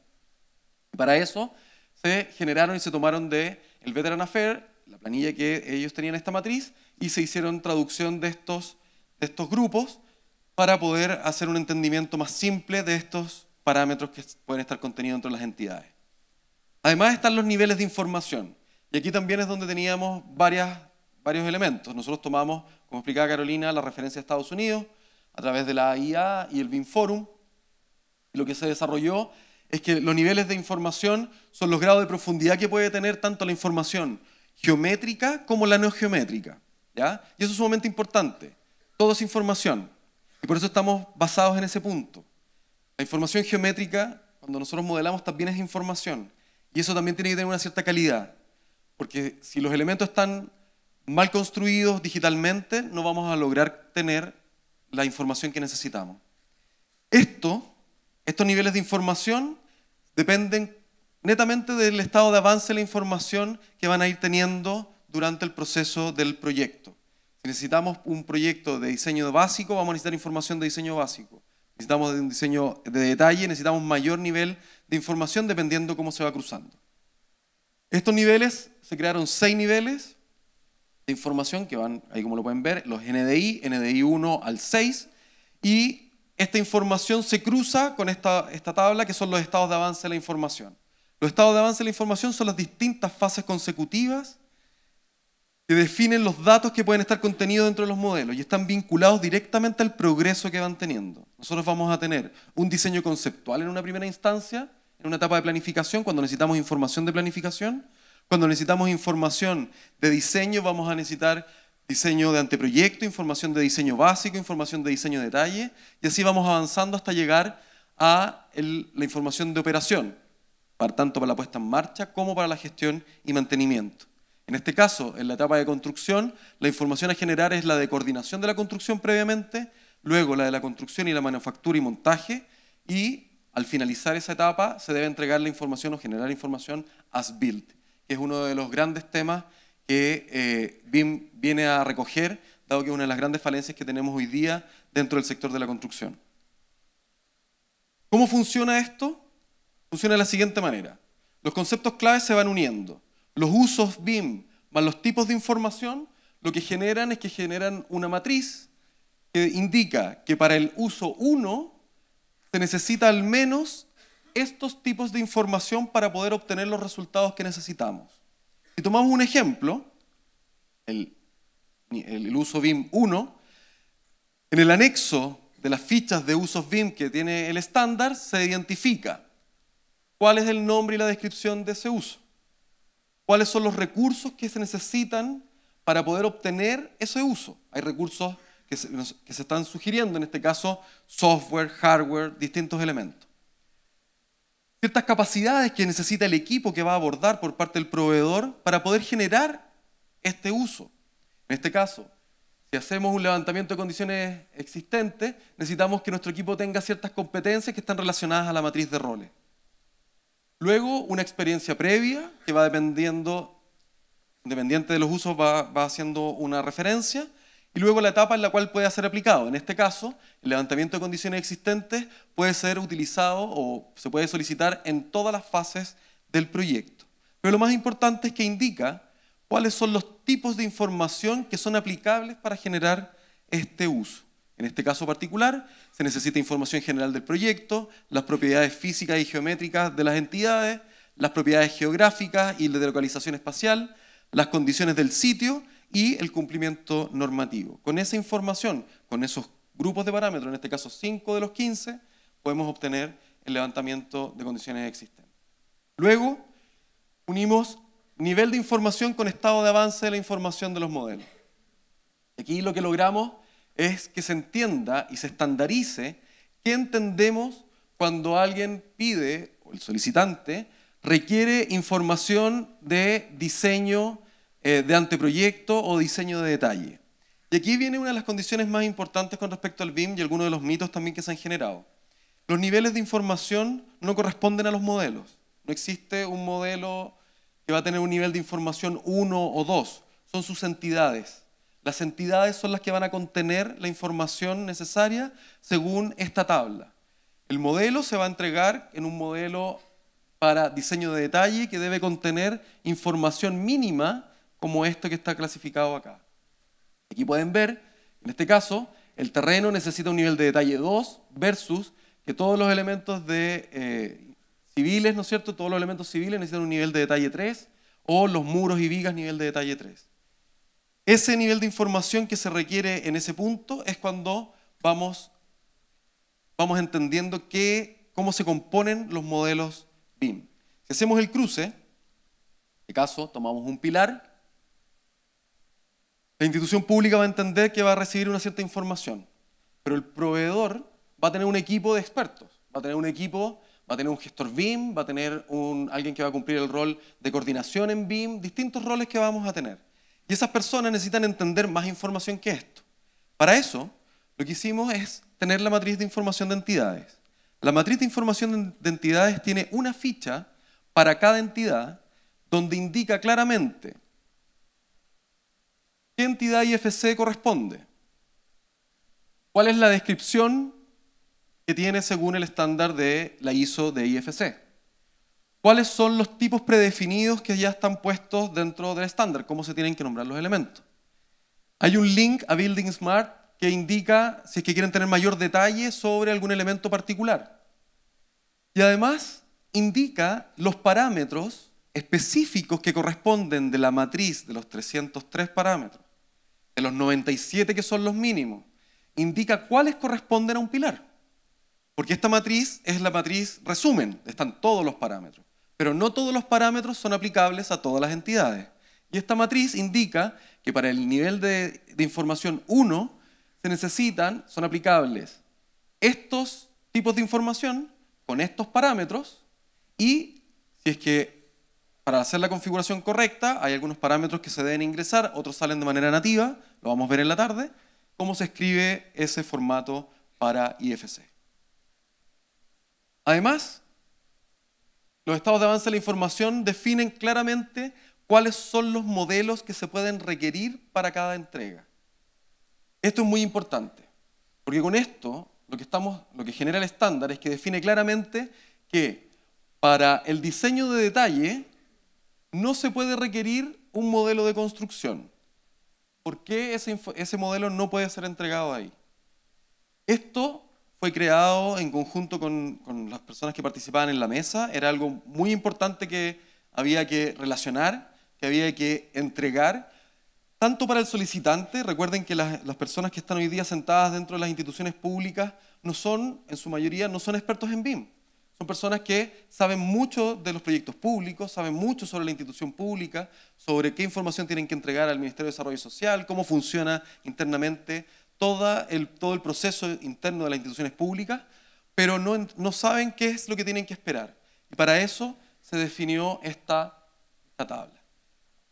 La guía de consulta pública que tienen ustedes hoy día ahí en sus manos hace un resumen de todas estas tablas que son las principales que se utilizan para el trabajo. La idea es que esta guía les sirva a ustedes para el trabajo diario, la pueden tener como reporte, además viene con la sección de los colores y las nomenclaturas atrás al final, para que tengan un acceso rápido en el trabajo del día, a día. Además de, espero que ya hayan descargado el estándar, que se lo lean, a diferencia de Carolina, mi jefa, en este caso yo quiero que se lean el estándar, tomó muchas horas, no solamente el capítulo 5, ¿ya? Todos los capítulos, porque ahí van a entender varias cosas. Se van a entender principalmente cuál es el contexto también que tiene este estándar dentro de la, dentro de la industria de la construcción.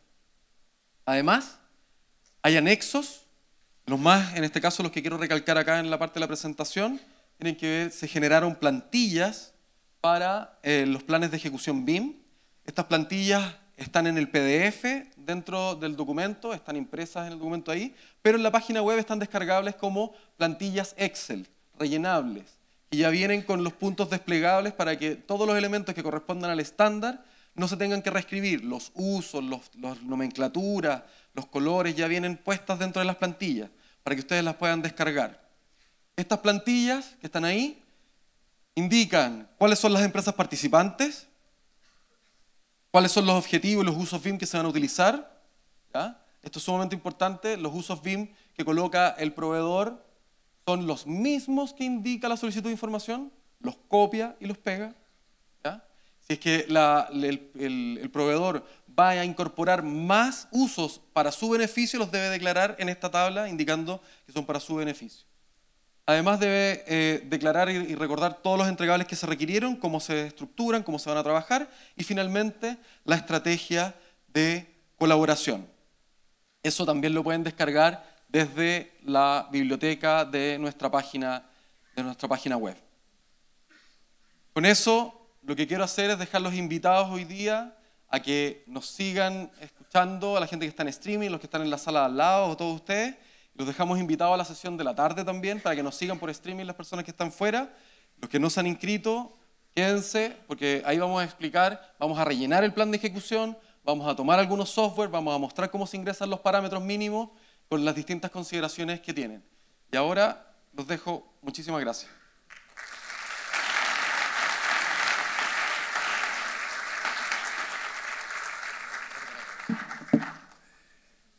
Bien, muchas gracias Sebastián. Y queremos invitarlos a continuación a una pausa para un café. 20 minutos y nos vamos a encontrar nuevamente aquí en el salón con el fin de continuar con la presentación de los invitados internacionales. Adelante, por favor. 20 minutos para este coffee break.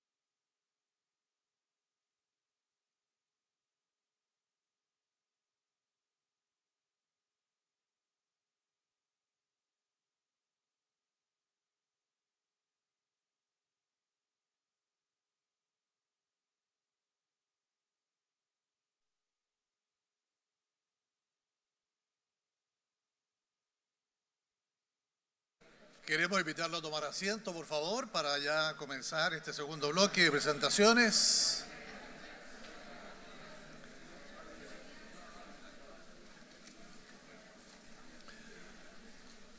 Mientras tanto, les queremos reiterar que al finalizar las exposiciones va a haber un espacio de preguntas. Para ello, les recuerdo que pueden acceder ustedes a través de la aplicación www.eslido.com.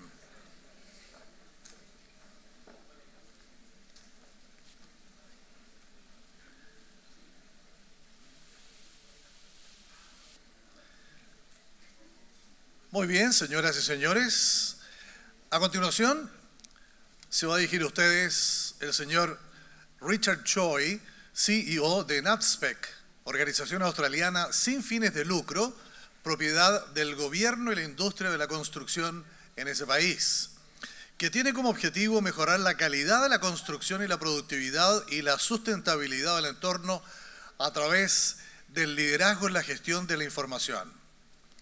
El señor Choi actualmente es miembro ejecutivo de la Junta Asesora BIM de Australia y Asia, miembro de la Junta de Códigos de Construcción y presidente de la Sociedad Internacional de Información de la Construcción. Hoy nos va a presentar la experiencia del proceso de estandarización en Australia. Bienvenido, señor Richard Choi.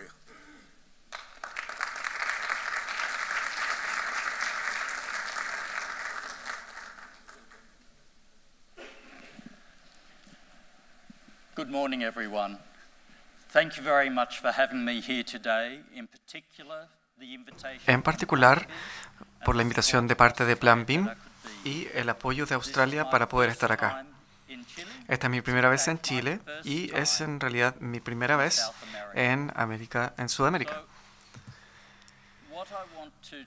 Lo que quiero hablarles el día de hoy tiene que ver con las lecciones aprendidas. Y somos un país que nos gusta compartir. Y también somos un país con ocho gobiernos o incluso alrededor de 500 municipalidades. Por lo tanto, el reunir la información es parte de la forma en la que hacemos nuestro trabajo y compartir la información es muy importante para nosotros. Con BIM hemos eh, realizado un trabajo por muchos años y es una colaboración local e internacional, por lo tanto podrán ver el logo de Plan BIM ahí arriba. También esperamos tener un mejor entorno de trabajo para todos. La idea de BIM hace muchos años se basaba en la generación de modelos, en la construcción de edificios. Pero creo fuertemente que hoy en día, cuando hablamos de construir, hablamos del verbo construir, tanto una construcción horizontal como una construcción vertical. Estamos hablando de construir información que comienza desde un concepto de diseño, del diseño a la construcción hasta llegar a la operación y la mantención, e incluso hasta la renovación de esto. Por lo tanto, la importancia no son los modelos para la construcción, sino que la información, como lo escuchamos esta mañana. Me gusta mucho esta definición en particular. Es del grupo de trabajo BIM de la Unión Europea, EU BIM Task Group, y explica más o menos lo que acabo de decirles. ¿Por qué entonces estamos involucrados en BIM? creemos que va a mejorar la productividad. Australia es un continente muy grande y se requiere hacer mucho trabajo con el trabajo privado y el trabajo público. Y la productividad nos entrega la capacidad de mejorar las vidas de muchos. ¿Hay algún retorno a la inversión? ¿Una ganancia por la inversión del uso del BIM? Creemos que sí, pero la pregunta más grande es, ¿qué pasa si no avanzamos? Avanzamos con las tecnologías todo el tiempo, de manera global. Todos han avanzado hacia BIM. Y si quieren ver los documentos del grupo de trabajo de la Unión Europea BIM, estará eh, una documentación en español y podrán descargarlas. ¿Quién acá no tiene un teléfono inteligente, un smartphone? ¿Alguien les dijo que debían usar un teléfono inteligente o utilizan la tecnología porque está disponible? Algunos de ustedes, eh, eh, algunos de ustedes reconocerán estas imágenes. Este primer, eh, primera foto es un teclado, pero es una regla de que se deslizaba de un lado a otro. Yo partí con esta eh, regla como una calculadora, como un abaco, en una regla. Después comencé a trabajar con una computadora. Yo no soy una persona especialista en informática. Comencé en la ingeniería y seguí avanzando hacia la arquitectura en mi educación. En la arquitectura estoy acá, eh, perdón, y la arquitectura es la imagen de acá en donde hay una pizarra que se trabaja en papel. No hemos cambiado la forma en la que diseñamos, pero nos aseguramos de que las personas con las que trabajamos utilicen las mismas herramientas, AutoCAD, BIM o incluso los smartphones. Si nos quedamos parados, estancados, esto no es algo bueno para nuestro país ni para el mundo entero. La productividad es obligatoria. No voy a hablar de los beneficios clave de BIM ya que se mencionaron. Estará mencionado en varios documentos, incluso en este documento estándar, de estándares. Pero se tratan de las lecciones aprendidas y las lecciones que aprendemos provienen de los proyectos. Por lo tanto, cuando hablamos de la comunicación en el BIM, esto es muy importante, ya que el BIM es una filosofía de vida, no es una herramienta. Cuando hablamos de la productividad, se trata de ahorrar dinero, perdón, ahorrar tiempo. Y todos estos proyectos que teníamos en Australia en todos estos proyectos debíamos recolectar información y compartíamos esta información en nuestro país y en el resto del mundo. Por lo tanto, voy a responder cuáles son las lecciones claves que aprendimos en Australia desde mi punto de vista personal.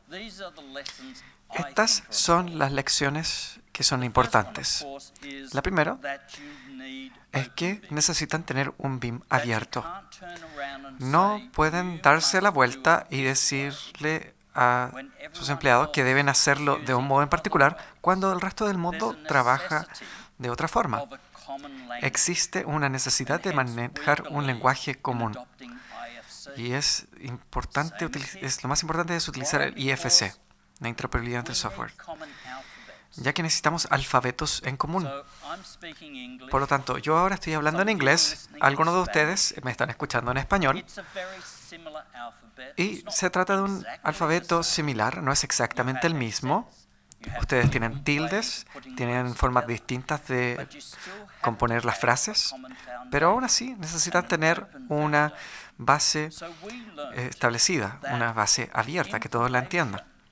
Por lo tanto, creemos que la información debe ser utilizada en todos los proyectos, en todos los departamentos gubernamentales, entre distintos softwares. Por lo tanto, tener una base en común como el IFC es importante. Y del mismo modo también los estándares comunes, estándares que tienen conocimientos generales, pero para un uso local. Es por eso que este documento es tan importante, ya que esto les permite a su país a que avance en conjunto hacia adelante. No reinventar los mismos problemas una y otra vez, sino que avanzar en conjunto para eh, rápidamente. Los estándares abiertos son algo muy importante. No estamos diciendo que adopten los estándares globales. NatSpec escribió el manual para Australia y de mismo modo también eh, redactamos el de Nueva Zelanda. No son los mismos, pero tienen las bases similares. En Australia, reconocemos que utilizar un estándar abierto es a veces difícil.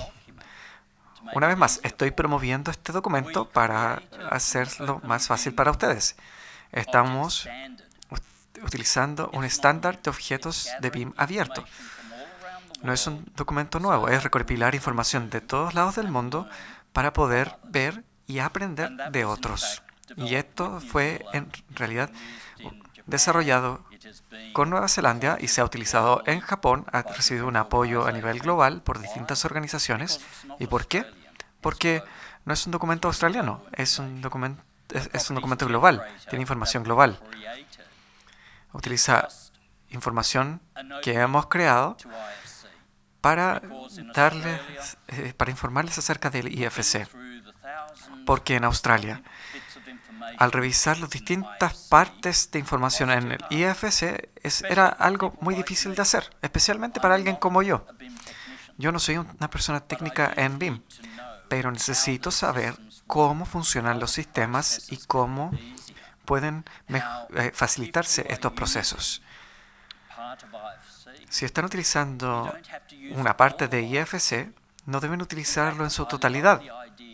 En realidad me gusta la idea que tienen acá, que han definido a 97 partes de información que son esenciales en vez de decir que la totalidad es esencial. Y me gustaría decir que hubiésemos aprendido esto en Australia, porque desde un comienzo en nuestro viaje teníamos distintos departamentos gubernamentales pidiéndonos todo. Y nos pedían ejemplos, y les puedo dar ejemplos de proyectos en donde al pedir toda la información eh, generó eh, fallas enormes, con un eh, sobregastos enormes, en donde no podíamos volver atrás en la información, porque fue demasiado. Un BIM abierto y definir lo que quieren fue lo mejor. La consistencia en Australia tenemos justamente eh, consistencia en los documentos en la industria en Australia y la compartimos con Chile y el mundo.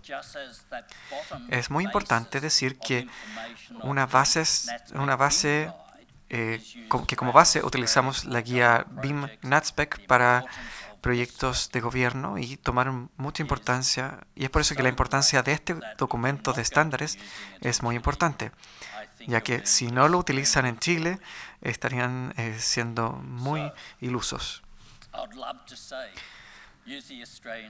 Por lo tanto, les podría decir, utilicen el documento australiano, pero no, no es apropiado. Pensamos globalmente, pero actamos localmente. Nuestra industria de la construcción es distinta a su industria de la construcción, pero existen similitudes y aprendemos los unos de los otros. Las siguientes lecciones que aprendimos en Australia, del mismo modo que se presentó acá, fue que las ideas y conceptos de un modelo único que hace todo en realidad no funciona. Cuando comencé a aprender de PIM, ciertos grupos me dijeron que este era el futuro, en donde todos trabajaríamos con un único modelo. Y le dije, esperen un segundo. Yo trabajé en la ingeniería, en la industria de la ingeniería. También he trabajado en la arquitectura. He estado en, un, en una obra. Cuando pienso en distintas partes de mi profesión, eh, es distinto. Les doy el ejemplo de la palabra espacio. ¿Qué significa el espacio para alguien en la industria?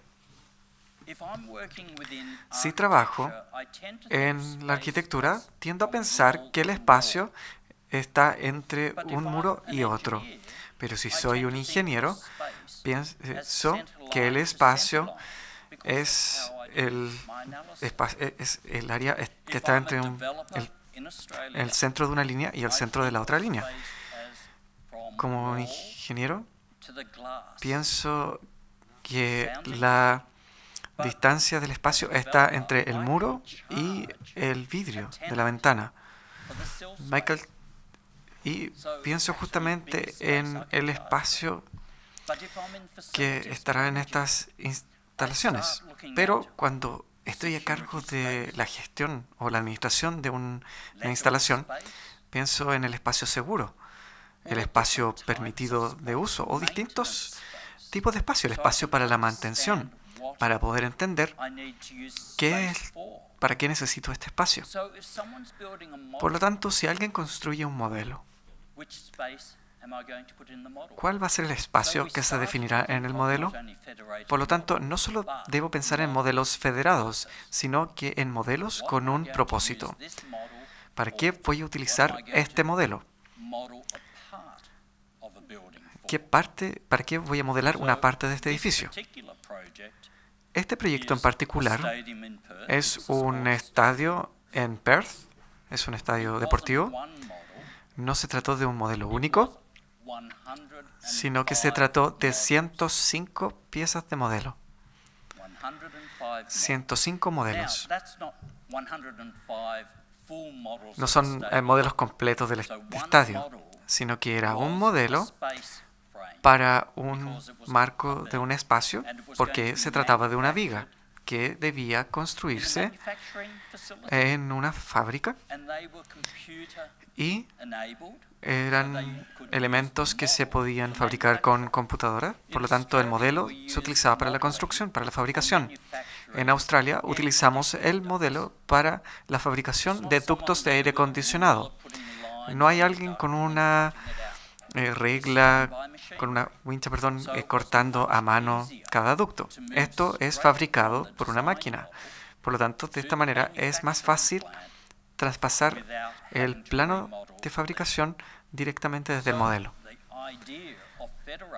Por lo tanto, la idea de los modelos federados es una lección muy importante que hemos aprendido. La tercera lección. Esta me gusta mucho. Me gusta porque, ¿por qué no serlo? ¿Por qué no ser egoístas? ¿Por qué no pensar qué hay de, en esto para mí? No hay nada malo en pensar así. Este documento es bueno porque el gobierno ha pensado en cuál es la información no solamente que va a ayudar a toda la industria, sino que cuál es la información que va a ayudar al gobierno a lidiar con la construcción y la operación y la mantención.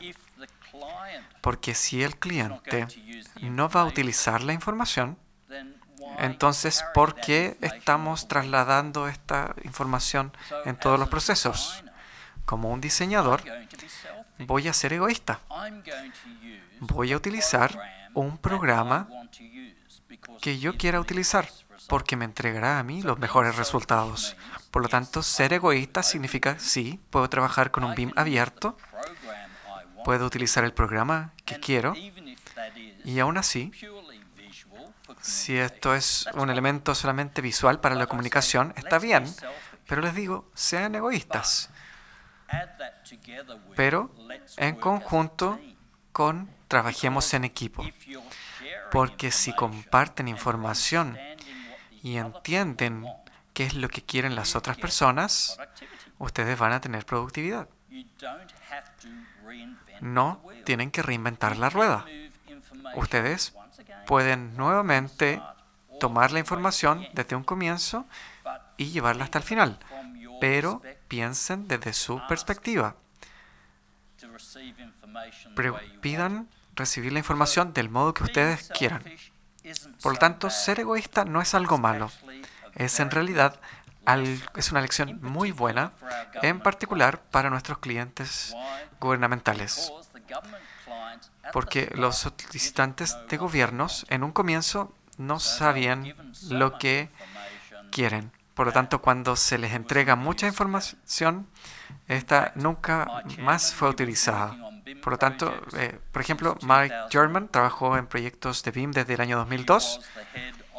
Él era el jefe de obras civiles a cargo de jefe de, proyecto, de proyecto. Él estaba a cargo de equipos, creando modelos con toda la información.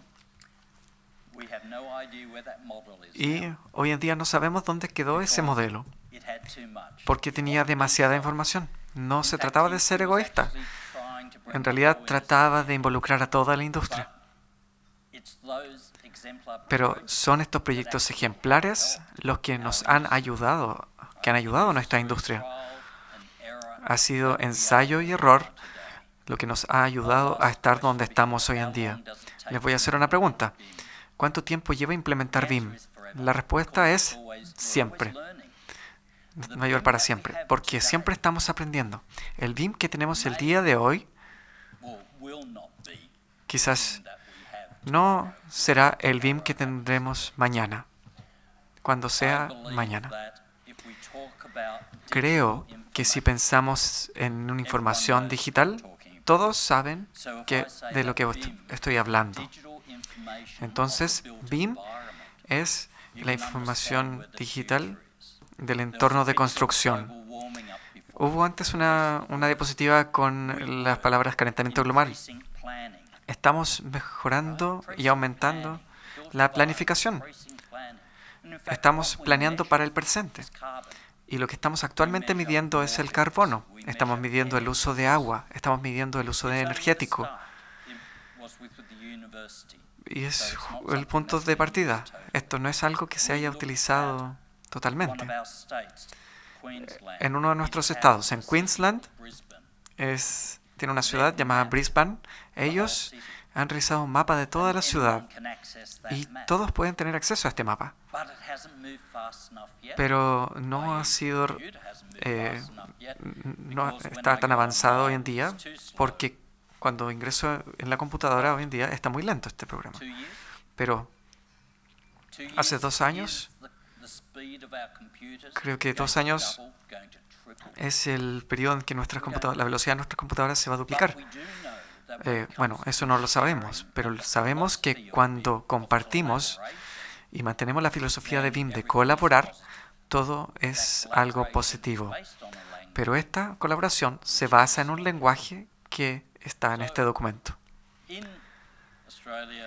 En Australia, nuestro Ministerio de Salud ha trabajado con ejemplos de ser egoísta, en donde dijeron, no queremos todo, queremos información en particular y estamos pidiendo que esta información sea entregada de un modo en particular.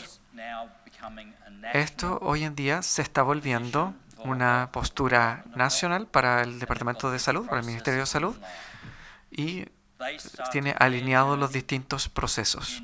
Ellos comenzaron este, esta travesía en el año 2012. Hoy en día están en la versión 3 la versión año 2018-2019, en donde han tomado su travesía y esperamos que las lecciones que han recopilado y compartir la información desde Australia a Chile va a significar que todos podamos avanzar en ser más productivos. En ser más productivos. Nuestra información está en el sitio web. Pueden ver también los estándares BIM si es que quieren leer esta información en inglés, pero esta es la guía para ustedes. Muchas gracias.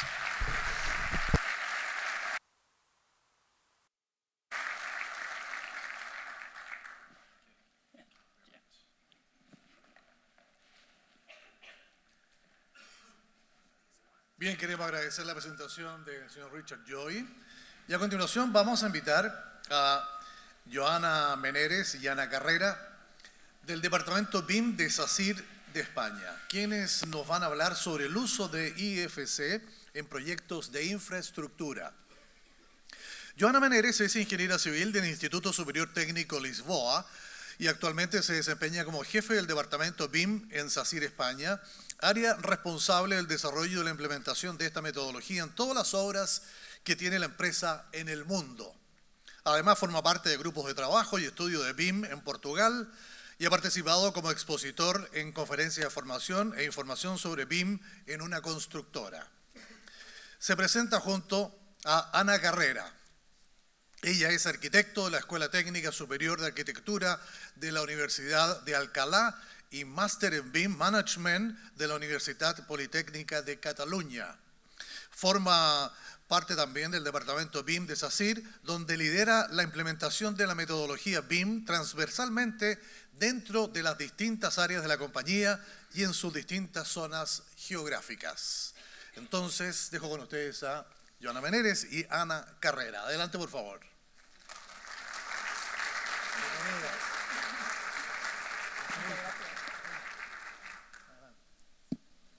Hola. Hola, buenas tardes. Buenos días. Todavía no hemos comido.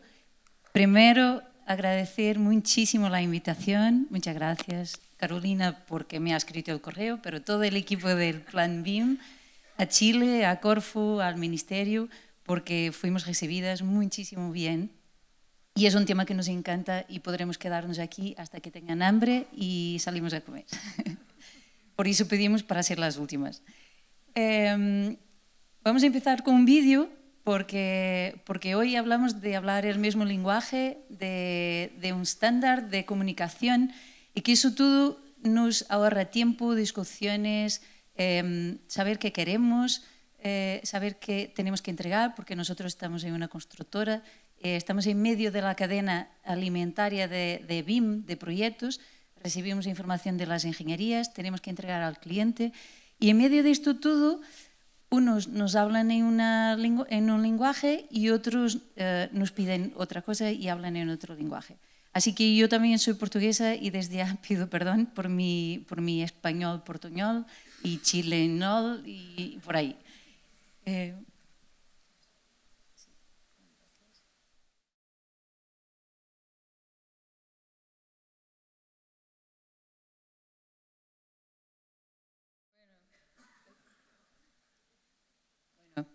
Esto es un clásico ejemplo, Monty Python ya es muy antiguo, pero al final tenemos todos el mismo problema y seguimos con el mismo problema. Así que enhorabuena por, por el estándar para quitarnos este problema, porque, porque nos toma demasiado tiempo. Y tiempo es dinero y, bueno, y, es, y hablamos de dineros públicos, hablamos de dineros de empresas privadas. Como decía Carolina, esto no es un estándar para el sector público, es un estándar para todos, para ahorrarnos ese dinero, sea de particulares, de nuestro bolsillo, lo que sea. Porque en, nuestra, en nuestro cotidiano tenemos estándares y nos acostumbramos a ellos y, y si no existen, eh, nos, nos, quejamos. Por, es que no tiene sentido. ¿Por qué en nuestro trabajo no hacemos lo mismo? No pedimos lo mismo para trabajar y para que nuestro trabajo eh, rinda más, eh, rinda, Reina, perdón, Reina más, eh, os hablo como chica de, de, la parte de tallas de ropa.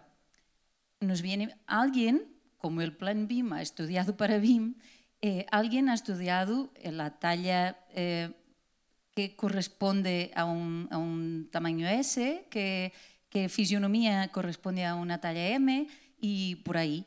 Yo simplemente voy a una tienda y ya sé qué, qué talla voy a, elegir, la XXXS. y, y, no voy a, probar todas las tallas para ver cuál, cuál cuadra con mi, con, mi, con mi tamaño. Simplemente ya está institucionalizado que eh, es así y entonces ya eh, cojo directamente mi talla y, y es muy más fácil y ahorro mi tiempo. Esta es una multicodificación, o sea, hay distintos estándares, igual que hay el de Estados Unidos, igual que hay de, de Reino Unido, y uniformizamos y al final si hacemos una multicodificación entre distintos estándares, eh, nosotros siempre nos entendemos. Para que no nos ocurra esto, que puede ser gracioso y además podremos aprovechar y le sirva al papá y al final no perdemos dinero, pero también nos puede pasar esto y es más vergonzoso y más horroroso. Los estándares sirven como guía de darnos instrucción de cómo deberemos hacer las cosas y eso nos ahorra tiempo, nos ahorra costes, porque igual que en la ropa, si no seguimos las instrucciones, nos pasa, nos puede pasar que disminuye, ya no nos sirve, eh, se pone con otro color y al final eh, eso todo hablamos siempre de dinero, de tiempo, de disgustos. Lo podremos dar a un consultor, pero los consultores no siempre son de confianza. Así que o nos ponemos a leer el estándar o seguimos pagando a empresas que ahora mismo existen en el mercado para hacernos la vida fácil, pero que al final nunca hacen lo que nosotros queremos hay siempre, entramos en un mundo gris que no hay blanco y negro, es siempre discusión alrededor del contrato. Es que esto no estaba en mi contrato. Ahora mismo, al día de hoy, que no es aquí en Chile, por eso lo puedo decir, eh, estamos discutiendo qué nos hace la, la estructura metálica de soporte de una fachada, si es arquitectura o es estructura. ¿Y por qué perdemos tiempo con esto? Creemos que es cada uno ve según su perspectiva y para cada uno es natural eh, su opinión. pero la cosa es, siempre tiene que estar en contrato. Y antes, cuando estaba en 2D, aparecía. Yo no sé cómo, cómo, cómo se hacía, pero era... Bueno, la cosa es que hay un estándar, deberemos seguirlo, deberemos eh, trabajar según él, porque igual en la comunidad, en la sociedad, nos comportamos según reglas, reglas de tráfico, eh, reglas de ropa, eh, reglas distintas, pero que no, nos hacen la vida más fácil. Eh, Hemos escuchado por ahí que BIM es para edificación, así que Ana os va a dar un ejemplo muy práctico de una obra que, que de SACIR, de obra civil.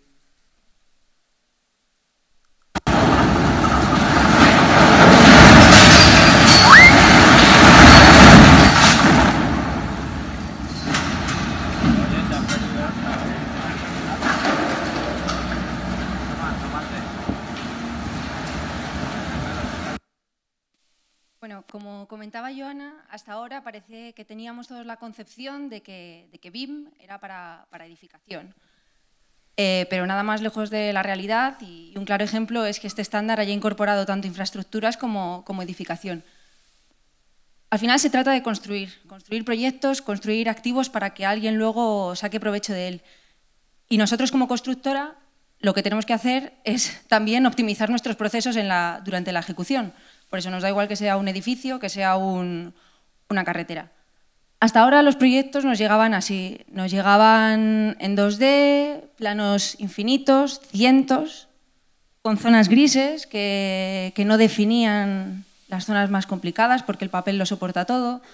Además teníamos miles de especificaciones que teníamos que consultar para poder al final llegar al resultado y construir la presa, lo que generaba muchas veces muchos problemas a la hora de ejecución teníamos que parar, teníamos que, que, parar que, y que adivinar cómo era esa parte que el proyectista había, diseñado pero no estaba definida.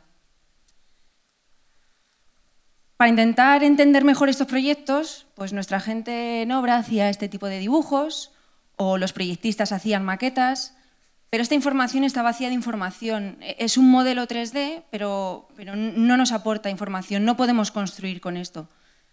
De ello que nosotros eh, decidiésemos hacer esta preconstrucción virtual de nuestros proyectos para sacar toda la información, eliminar esas zonas grises que comentábamos, esas zonas de indefinición, para tener la solución completa antes de construir, encontrar los errores antes de construir y optimizar ese proceso. Como podéis ver, se trata de la presa completa, es la presa de Fostúa en Portugal. Eh, utilizamos una codificación, hemos estandarizado, como va todo alrededor del tema que estamos hablando hoy. Cada color de, cada bloque de la presa significa un tipo de hormigón. Está codificado y podemos obtener mediciones de ello.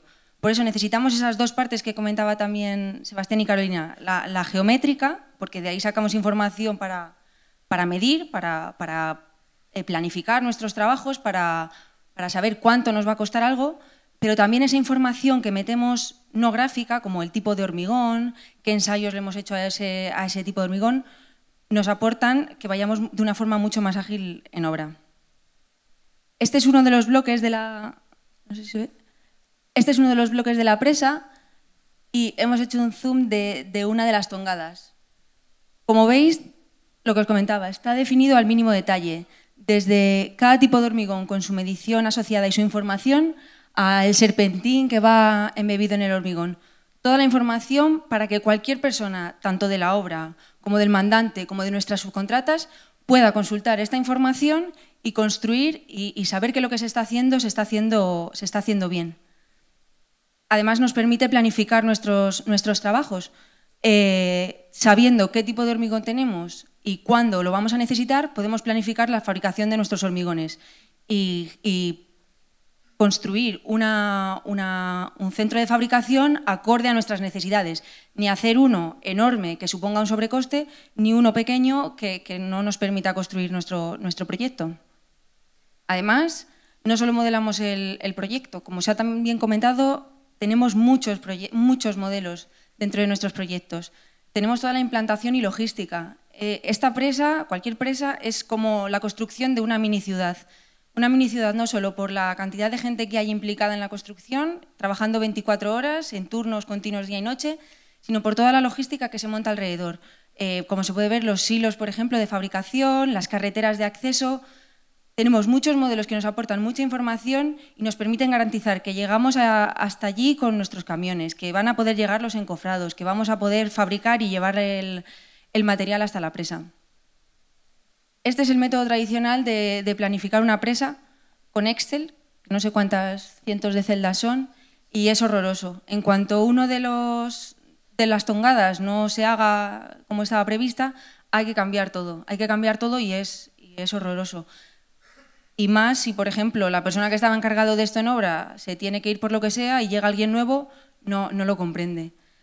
Entonces, nosotros con, a través de la metodología BIM, como hemos dicho, concentramos toda la información y teníamos este modelo con cada tongada definida. Y lo que decidimos fue optimizar este proceso de, planificación.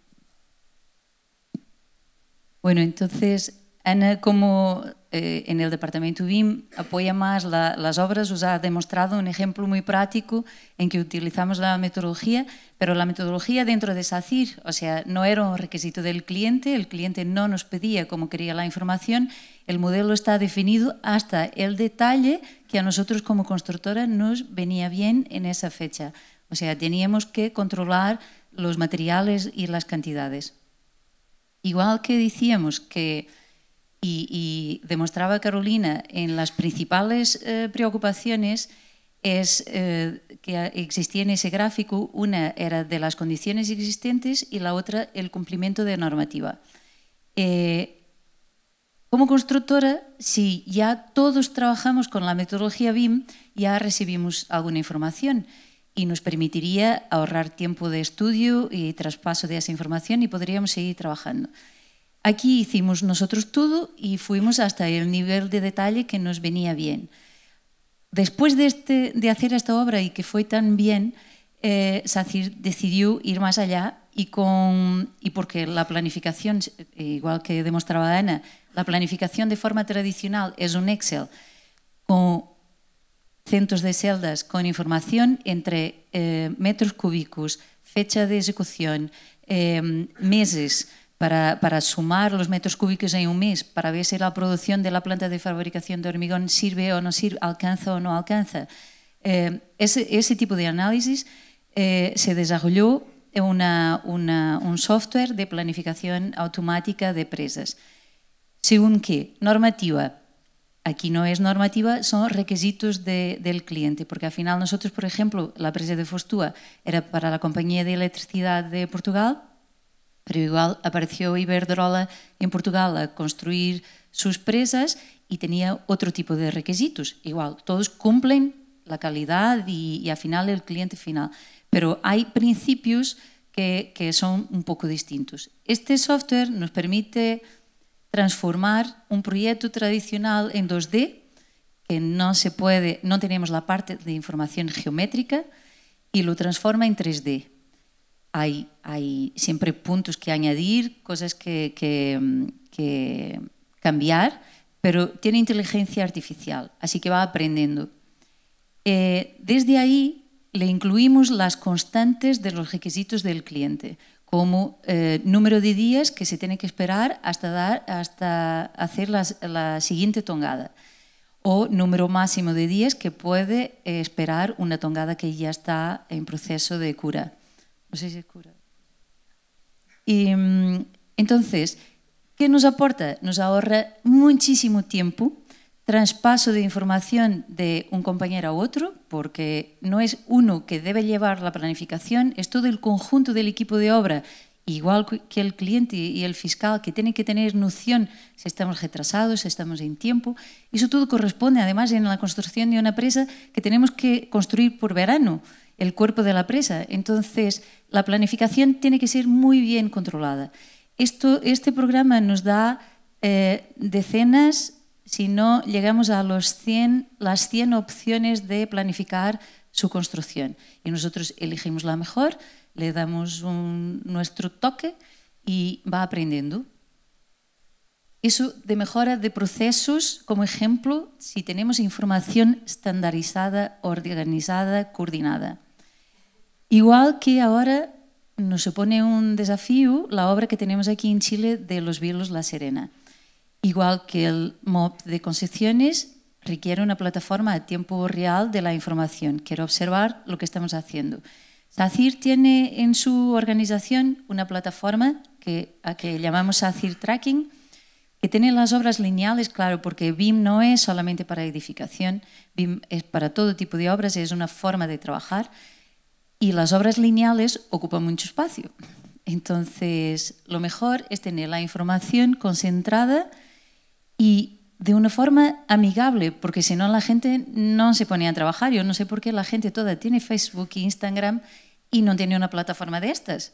Para su trabajo es que es lo más natural incluir información, porque a toda la gente le gusta eh, subir fotos de sus vacaciones para hacer envidia a sus amigos.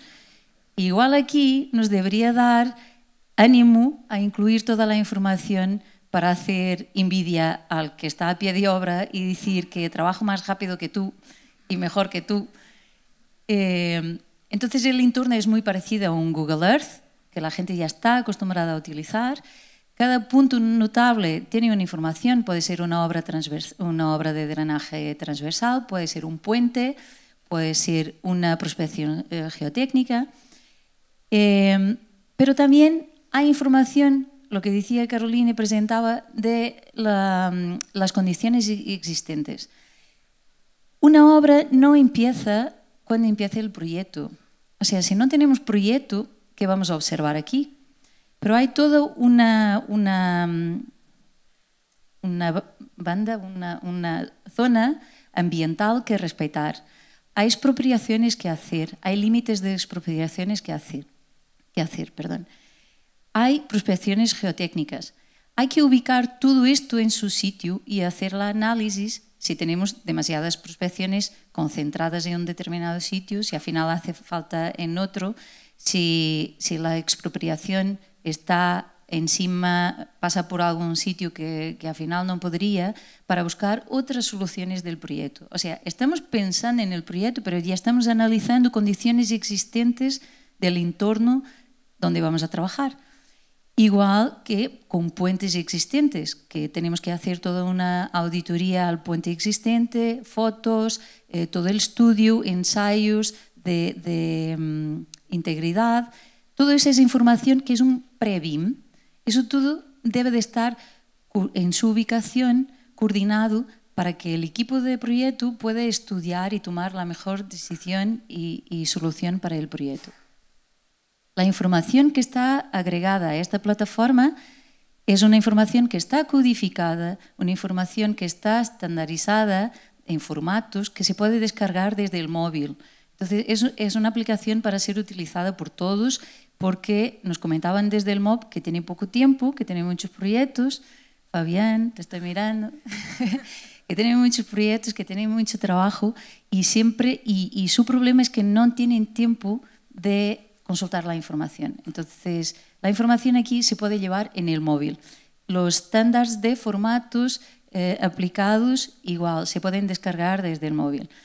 No hay formatos abiertos porque es una, información que ya está aprobada, es una información que para reservar la calidad de la misma es auditada y es subida la información que, que, está disponible para construir, para no haber errores de versión 10 contra la versión 2 y que cada uno está con su, su tipo de información.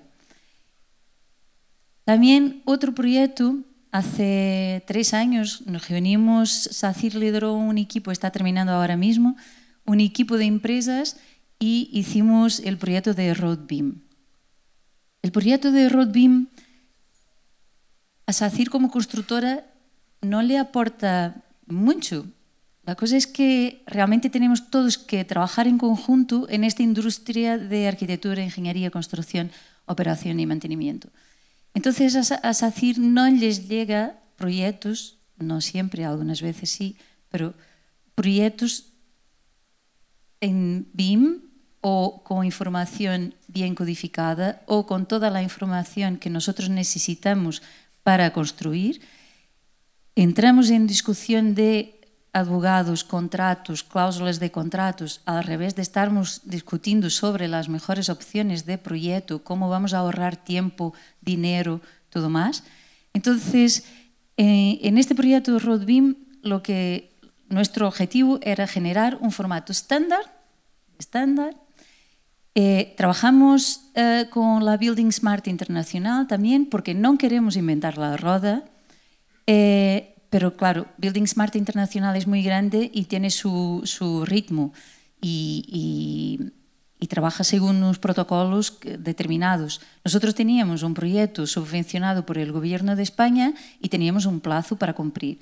Así que trabajamos de la mano de la Building Smart Internacional, igual que la Building Smart absorbió alguna de nuestras soluciones, nosotros absorbemos soluciones de ellos y generamos un estándar, un formato estándar. No pretendemos ser un IFC, pero es un estándar que ahora mismo funciona para las aplicaciones que eran el objetivo grande de este proyecto. El objetivo es validación de normativa. Lo que decía Carolina, la mayor preocupación, una de las dos mayores preocupaciones de, de nuestro cliente.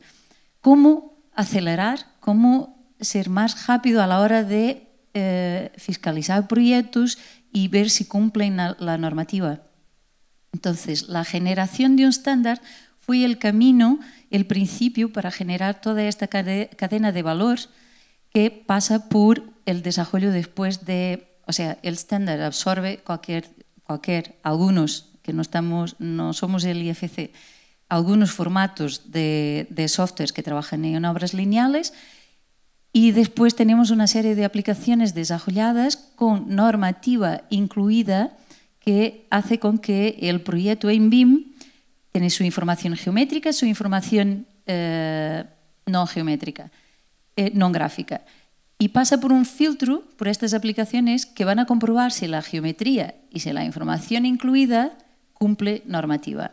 Entonces, hay un visualizador, igual que hay otros visualizadores, pero este, como es obra lineal, tiene requisitos especiales, no es simplemente ver el 3D y se queda bonito y ya está.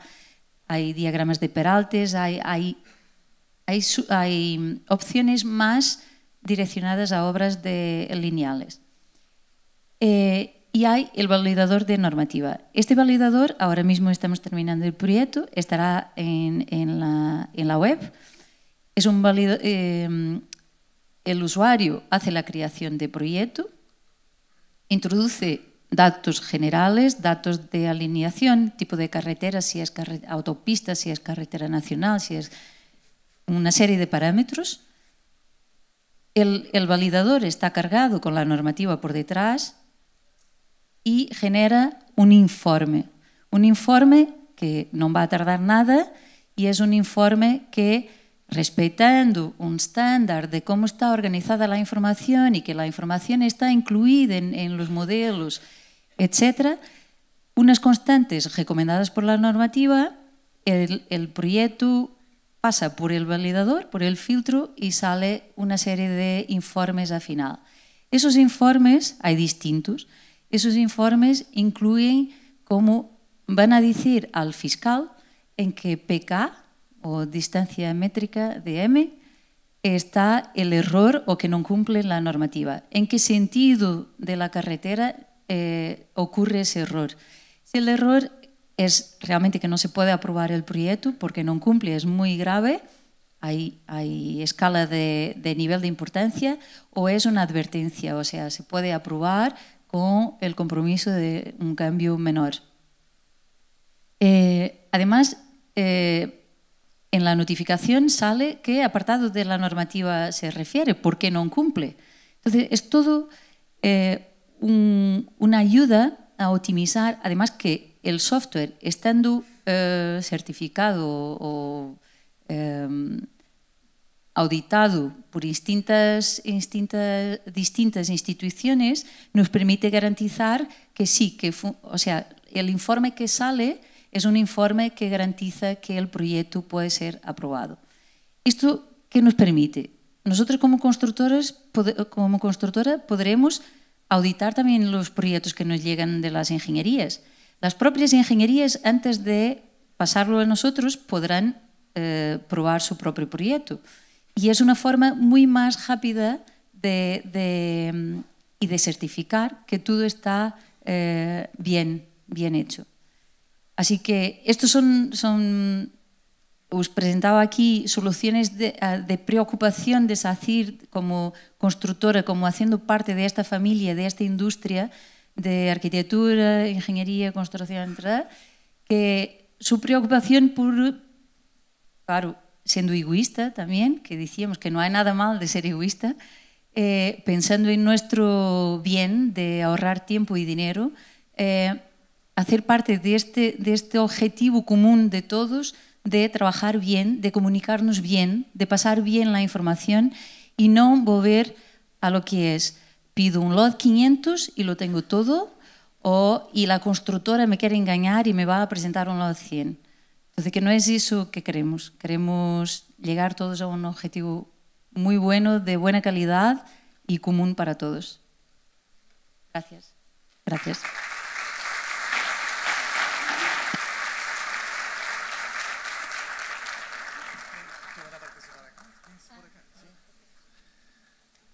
Muy bien, damos las gracias a Joana y Ana por su presentación y vamos a dar paso ahora a la ronda de preguntas de ustedes a los expositores del día de hoy. Va a moderar este espacio Carolina Briones, ella es coordinadora del sector privado y capital humano de Plan BIM, presentando las preguntas recibidas en la plataforma Slido. Invitamos a los expositores, a todos los que expusieron esta mañana acá, que suban aquí al escenario, con el fin de poder responder las preguntas de ustedes. Si alguien todavía tiene alguna inquietud, es el momento de que también lo pueda hacer. Muy bien. Carolina Soto y Carolina Briones. Ah, aquí está. Bueno, la andaba buscando. Les dejo con Carolina Briones entonces que va a moderar este panel. Sí, gracias Jorge. Eh, antes de empezar a moderar el panel, estoy haciendo pasar un video eh, dándoles a ustedes un, vistazo de lo que va a ser la presentación hoy día a la tarde sobre la demo aplicada de cómo se implementa el estándar. O sea, vamos a estar mostrando con diferentes software y plataformas cómo eh, los parámetros IFC se pueden ir ingresando a los modelos. Y contarles que nos han llegado cientos de preguntas, que ha sido un tremendo trabajo el filtrarlas todas ellas, pero voy a partir con una que es bastante eh, simple para que Carolina parta eh, respondiéndola. Muchos han preguntado y muchos envidian al ministro Monkever, que tenía el libro aquí en la mano, y nos están preguntando dónde pueden conseguir el estándar.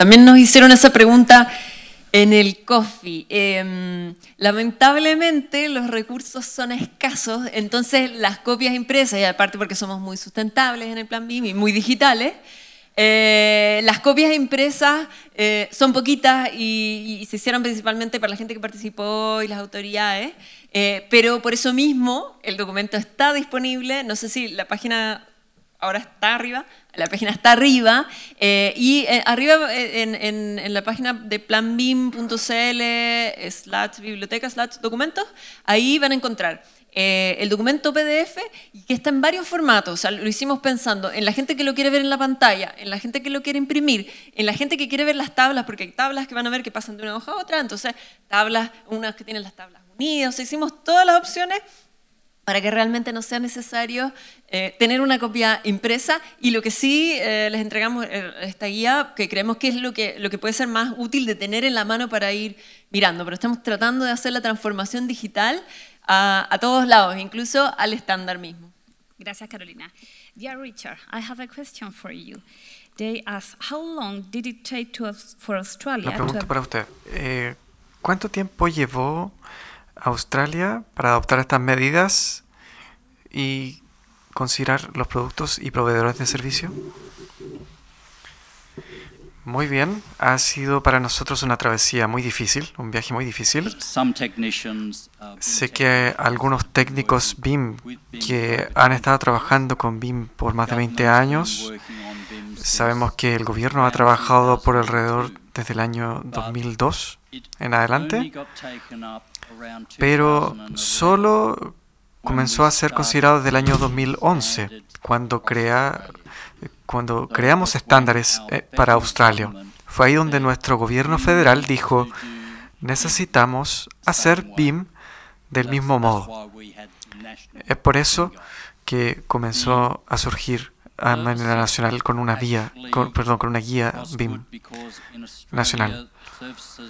En Australia, los servicios como el aire acondicionado realizan la fabricación de los, eh, de los componentes. Por lo tanto, no utilizan martillos, eh, utilizan computadoras y trabajan rápidamente en la industria minera también, también en la industria ferroviaria, cuando se les habla de un modelado digital, pero no necesariamente cuando se habla de la gestión y la operación de una plataforma.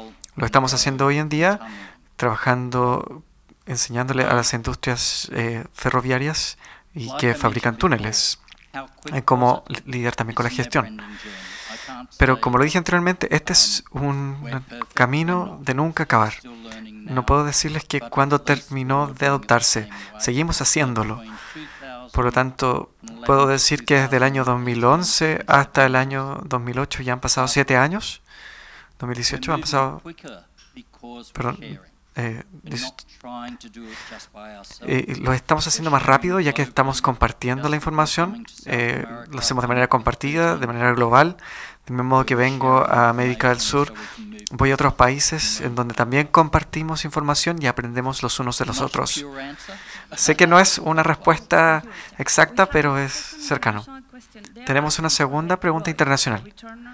Le están preguntando sobre el retorno de la inversión. Si es que se midió el si, es que se me dio el retorno de la inversión, ¿quiere escuchar la verdad? Sé que la verdad no es lo que quieran escuchar. Lo que logramos medir del retorno de inversión fue una disminución en la solicitud de información. Por lo tanto, eh, en las empresas de construcción, ellas midieron el tiempo que pudo haberse perdido al compartir la información?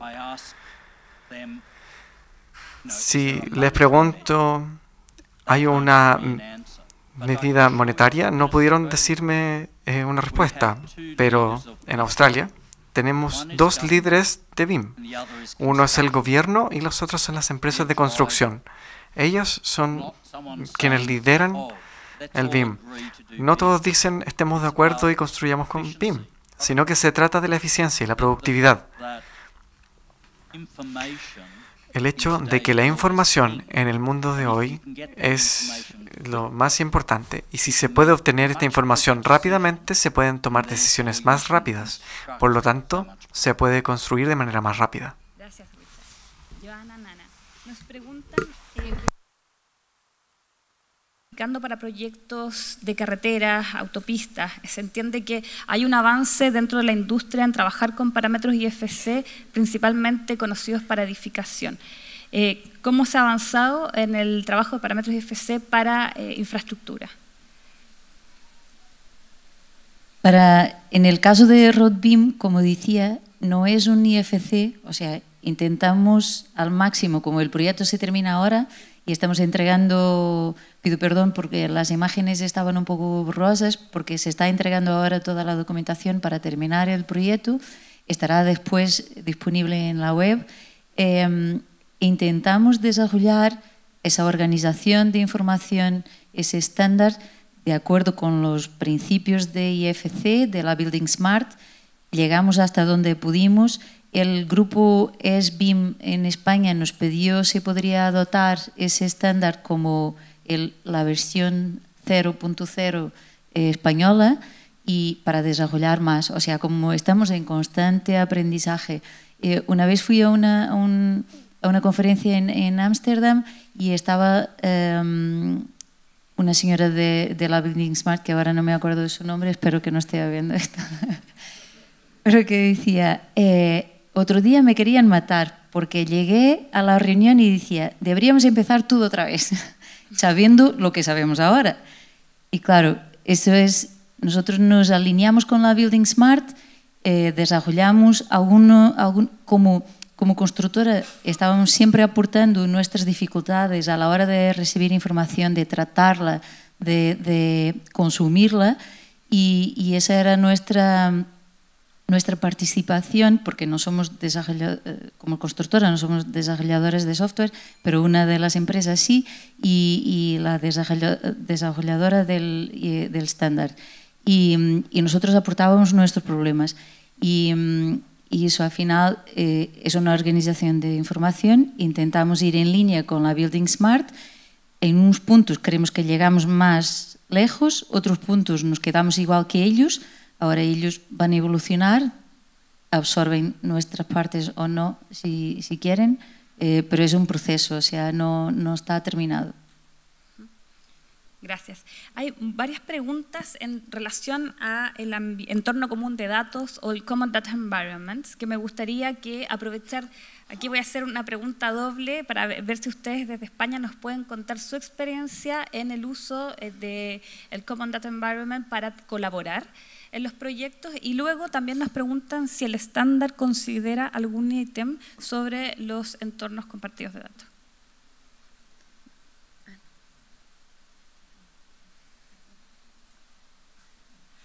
Eh, Common Data Environment. Hay, muchos, y hay muchas opciones. Y como todo, eh, y como decíamos, no está mal ser egoísta, porque SACIR tiene un acuerdo corporativo con Think Project, paso la publicidad, pero es, un gestor documental como hay muchos en el mercado. Ahí tenemos nuestra información guardada para estar disponible, sea aquí en Chile, a nuestro equipo en España, nuestro equipo en Reino Unido, donde esté. Eh, ahí la, la información, estamos trabajando en una codificación corporativa para que cada uno, igual cada equipo en Reino Unido, Qatar, Chile, Uruguay, Colombia, en todos sitios donde estamos, eh, estemos coordinados y que toda la gente pueda tener acceso a la información y, y sepa dónde buscar la información. Eh, ese es un gestor documental. Sí, eh, Common Data Environment, como compartir información, tenemos estas plataformas, dependiendo del tipo de obra. Una obra lineal no ocupa el mismo espacio que un edificio, que es un punto en el mapa. Entonces hay distintas opciones. En edificación tenemos soluciones de Autodesk, soluciones, otras soluciones. Depende también, el, el cliente por veces ya tiene su Common Data Environment y nosotros tenemos que respetar o sea, al ser una constructora tenemos que ser muy flexibles. Tenemos nuestras soluciones e intentamos por veces presentarlas como una de buena fe, de decir que funcionan para nosotros, o sea, que no estamos diciendo ninguna mentira, pero mm, hay soluciones de distintas casas de software y en edificación trabajamos mayoritariamente con esas distintas soluciones para trabajar colaborativamente. Otras veces no hay esa, posibilidad porque los modelos pesan, porque es contraproducente por, la dinámica de fast tracking de un proyecto. Hay, hay distintas condicionantes. Para obra lineal tenemos esta plataforma.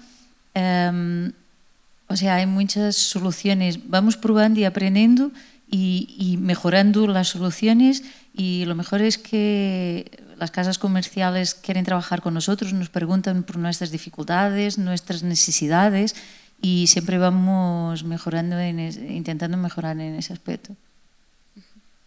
Bueno, por el lado del, del estándar BIM para los proyectos públicos, tomo un poco lo que está comentando Joana. Existen muchas soluciones de software para poder lograr el entorno de datos compartido o Common Data Environment. Y el estándar lo que hace es que define exactamente lo que está comentando Joana que hace falta y que es muy importante, que es entender cómo vamos a transmitir la información dentro de este entorno común de datos. Eh, el estándar lo que hace es que define claramente cuál es la estructura de las nomenclaturas de las carpetas y de los archivos, porque si los archivos se llaman de formas distintas, no vamos a poder gestionar la información. Eh, indica claramente cómo, en qué parte se coloca qué información. Al principio se parte con el nombre, con el código del proyecto, tiene una secuencia lógica y además explica qué es lo que es eh, este Common Data Environment o entorno de datos compartidos, que se puede componer por una solución, una gran solución de software tecnológica, ¿no es cierto? O por varias plataformas múltiples, ¿no es cierto?, que se unen y entregan información, como son los gestores documentales, como son las plataformas que tienen las casas de software, es, un, es, es, en cierta manera es una plataforma que se compone de varias partes, pero lo más importante, que es lo mismo que tocamos dentro del estándar, no es, tanto, no es tan solo el tema tecnológico, sino que la información dentro está estructurada de la manera para poder lograr hacer la gestión de esos datos. Si queremos saber cuánto ha sido la demora en la entrega de los documentos o quién, se han demorado, en, entregar, en responder una, una RDI o quién se ha demorado en hacer la entrega de un proyecto, todo tiene que estar bien estructurado para que los software hagan lo de ellos, ¿no es cierto? Que es gestionar y entregarnos todas las rúbricas y, y metadata que necesitamos para tomar las mejores decisiones. Gracias, Sebastián. Ya que estás ahí con el micrófono, voy a aprovechar de hacerte un par de preguntas juntas. Hay personas que están preguntando, ¿hay cabida para el desarrollo de proyectos de áreas verde o paisajismo por el hecho de que se sabe muy poco sobre software BIM para eso y aprovecho de juntarlo con otra pregunta que también hablan sobre si van a haber licitaciones o proyectos que de carretera de infraestructura que se eh, mandaten con BIM a través de este estándar en el corto plazo. Sí, con respecto a la primera pregunta, en temas de áreas verdes o paisajismo, nosotros estamos trabajando hoy en día con el Ministerio de Vivienda en, en la tipología de espacios públicos. Hemos ya avanzado en la primera etapa. Hicimos el levantamiento de procesos, lo que, lo que mostró Carolina, detectamos cuáles fueron las contingencias de ese proceso, ya vimos cuáles eran las soluciones a través de los usos BIM y estamos en el momento que estamos desarrollando la, solicitud de información. Estamos desarrollando el documento para empezar, eh, esperamos, y la gente del MIMBU, de Espacios Públicos, está muy ansiosa, estamos trabajando muy fuerte para poder obtener y buscar ahora en qué proyectos vamos a testear que se llaman los pilotos, ¿no es cierto?, de manera real lo que hemos desarrollado para ya desde el próximo año 2020 empezar, esperamos empezar a hacer el requerimiento en espacios públicos. Allí tocamos varios temas, tocamos los temas tanto eh, levantamiento de condiciones existentes, tomamos temas también de paisajismo y muchos temas de diseño de espacios que están asociados a la ciudad. Con respecto a las licitaciones de, en carretera en particular, nosotros lo que hemos hecho con el trabajo con el Ministerio de Obras Públicas, con, la Dirección de Vialidad, es que ya hicimos la solicitud de información, hicimos el mapa de proceso, contingencias, parámetros y la solicitud para los proyectos de puentes. ¿ya? esa solicitud de información BIM ya está entregada a los equipos del Ministerio de, en el tema de vialidad y ahora eh, vamos a iniciar justamente ya la próxima semana, nosotros nos avisaron hace un par de, un tiempo atrás, que ya tienen visto la posibilidad de poder integrarlo en estos pilotos, así que esperamos pronto saber en qué proyectos los podemos integrar para empezar a testear. Recuerden que es algo que no habíamos tocado mucho en las presentaciones, pero la solicitud de información BIM, lo que estamos desarrollando, primero se prueba en un proyecto o dos proyectos para tenerlo lo más acotado posible. De esa manera, una vez que sabemos los resultados con los indicadores que hemos generado, vamos a, se hace el despliegue y ahí el Ministerio hace la declaración pública de que esa tipología va a requerir BIM de ahí en adelante, eh, como lo indica la solicitud de información. Gracias, bueno, Sebastián. Carolina, perdón interrumpirte, porque ahora es genial para lo que iba a decir. Eh, ya que hoy es un día de noticias buenas, eh, nosotros tuvimos, y muchas gracias a, a, Fabián y a Víctor Hugo, que nos han recibido por parte del MOB Concepciones, tuvimos una reunión en que fueron ellos mismos que nos propusieran por qué, ya que van, van a lanzar el Standard BIM um, ahora en Chile, ¿por qué no, no aplicamos el Standard BIM ahora en, en nuestra obra de Los Vilos La Serena? Y nosotros creemos que es una gran oportunidad. Y de seguida fuimos a La Serena con el equipo de obra y les propusimos esto y les parece una idea genial, pero... ¿Pero? Pero, pero, pero. el plan BIM, como estaba diciendo Sebastián, eh, os invitamos a involucrarse con nosotros igual que piloto para probar si va bien o no, porque por requisitos no tenemos obligación. Eso es cuando nos dicen, no, es que por requisitos... No, te podemos decir que no, Joana. Joana, No, no, hay no. 300 personas aquí donde nos pusiste... Es- estamos, estamos nosotros, estamos nosotros. Nosotros tenemos muchísimas ganas porque al final eso, pedimos una reunión para entendernos, para entender qué pedían en los requisitos. Teníamos dudas porque va de la interpretación de cada uno. Ya en hospitales estamos trabajando y nos va muy bien y entendemos todo lo que nos piden y tenemos reuniones, y todo, pero ya va más fluido. Aquí pedimos esta reunión y fue su idea y nosotros la, la recibimos muy, con mucha alegría y propusimos al equipo de obra y el equipo de obra le pareció bien, ya que tenemos un estándar, por lo menos hablemos el lenguaje que se requiere. Y, y bueno, pero la cosa es que, y, y, y esa invitación, y bueno, si rechazas, te, que sirve de piloto y sirve para, para estudio, eh, de ver qué, qué, hace falta, de ver que se está, cómo hacerlo. O sea, empezamos a redactar el plan de, de ejecución BIM y según el estándar. ¿Ya será el primero? ¿Seremos punteros en, en, en obra vial? ¿Qué te vamos a decir, Joana? Que sí, obvio. Gracias. Excelente. Hay muchas preguntas desde el sector privado. Eh, voy a tratar de interpretarlas todas eh, en, en, una.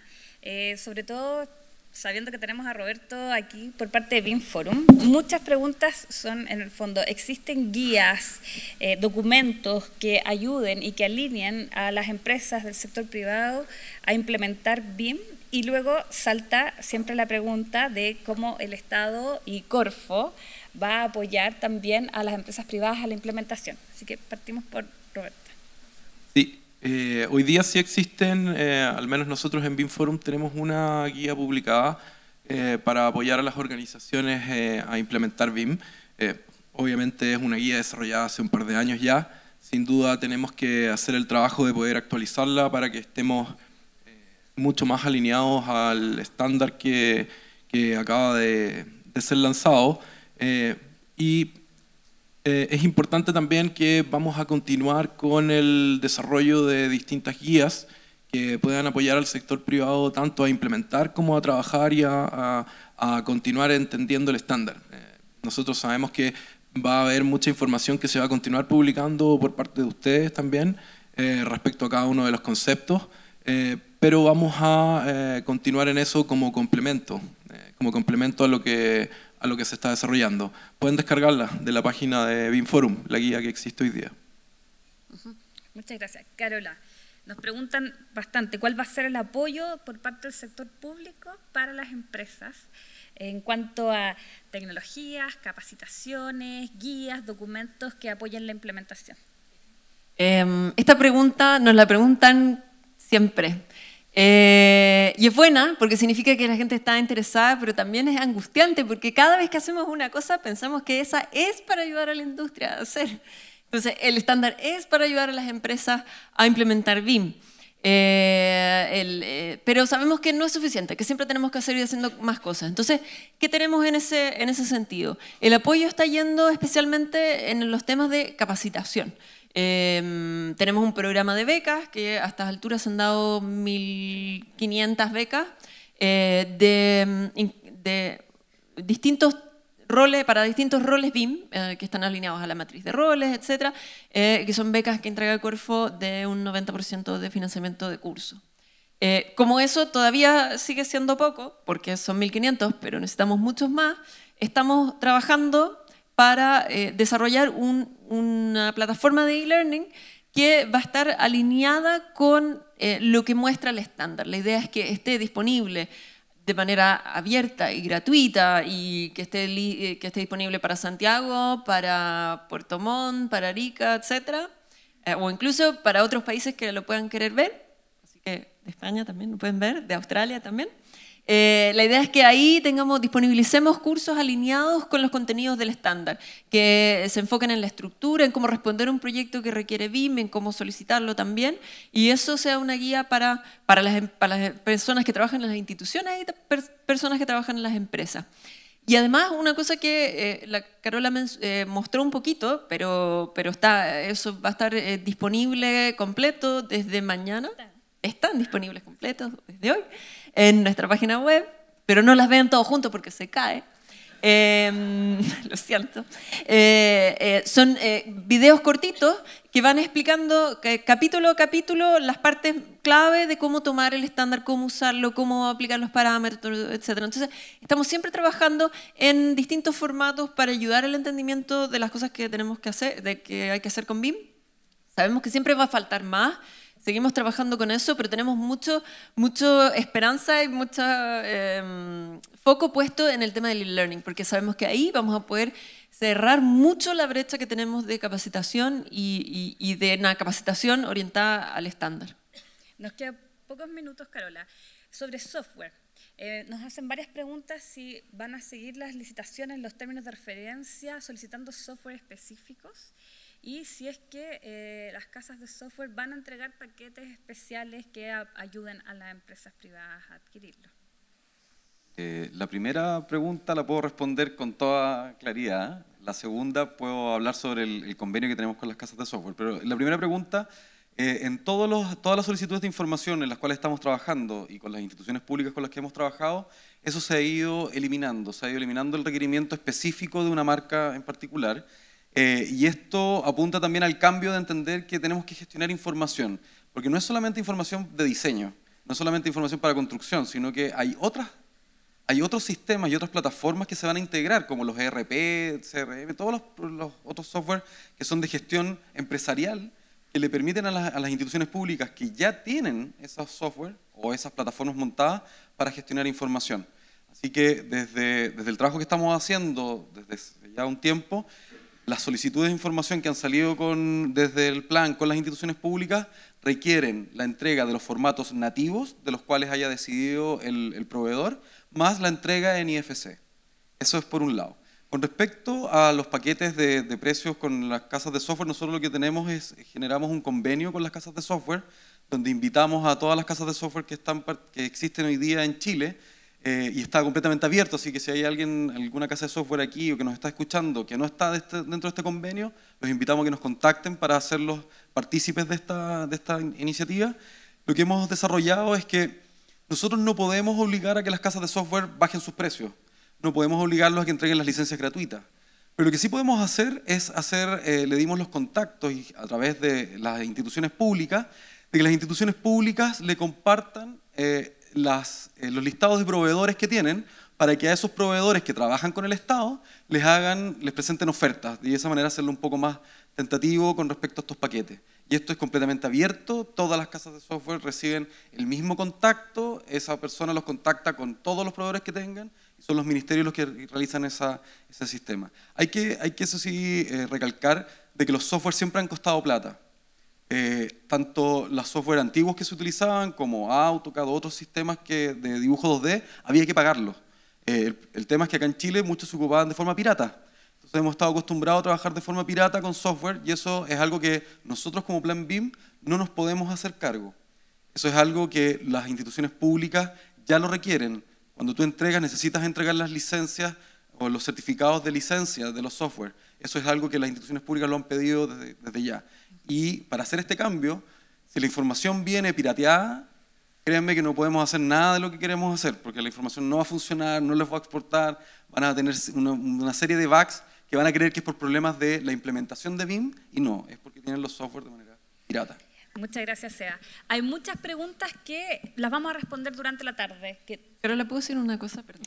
Eh, respecto sobre la primera pregunta, estoy súper lenta, em, del estándar, es que se me olvidó algo muy importante que tenía que decir. En la tarde, en la tarde, todos los que se quedan en la tarde, sí, ¿viste? Eh, vamos a hacer un sorteo y vamos a sortear 10, no, no, no tenía que decir cuánto, ya lo dije.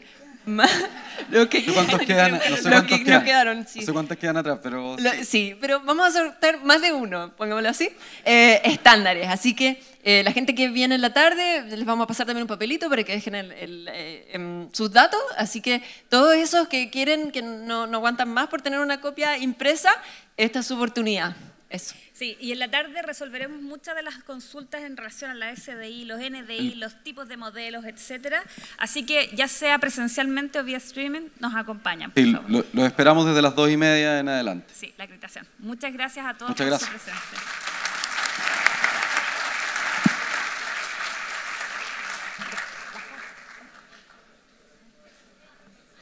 Déjame cerrar. Sí, cierra. Muy bien, muchas gracias. Queremos agradecer la presencia de todos ustedes y recordarles a los que están inscritos en la tarde que nos vamos a ver a las dos y media, 14.30, por favor. Y otro gran aplauso para nuestros panelistas, expositores.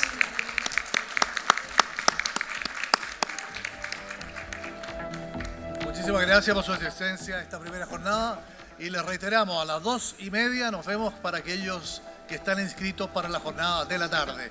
Muchísimas gracias.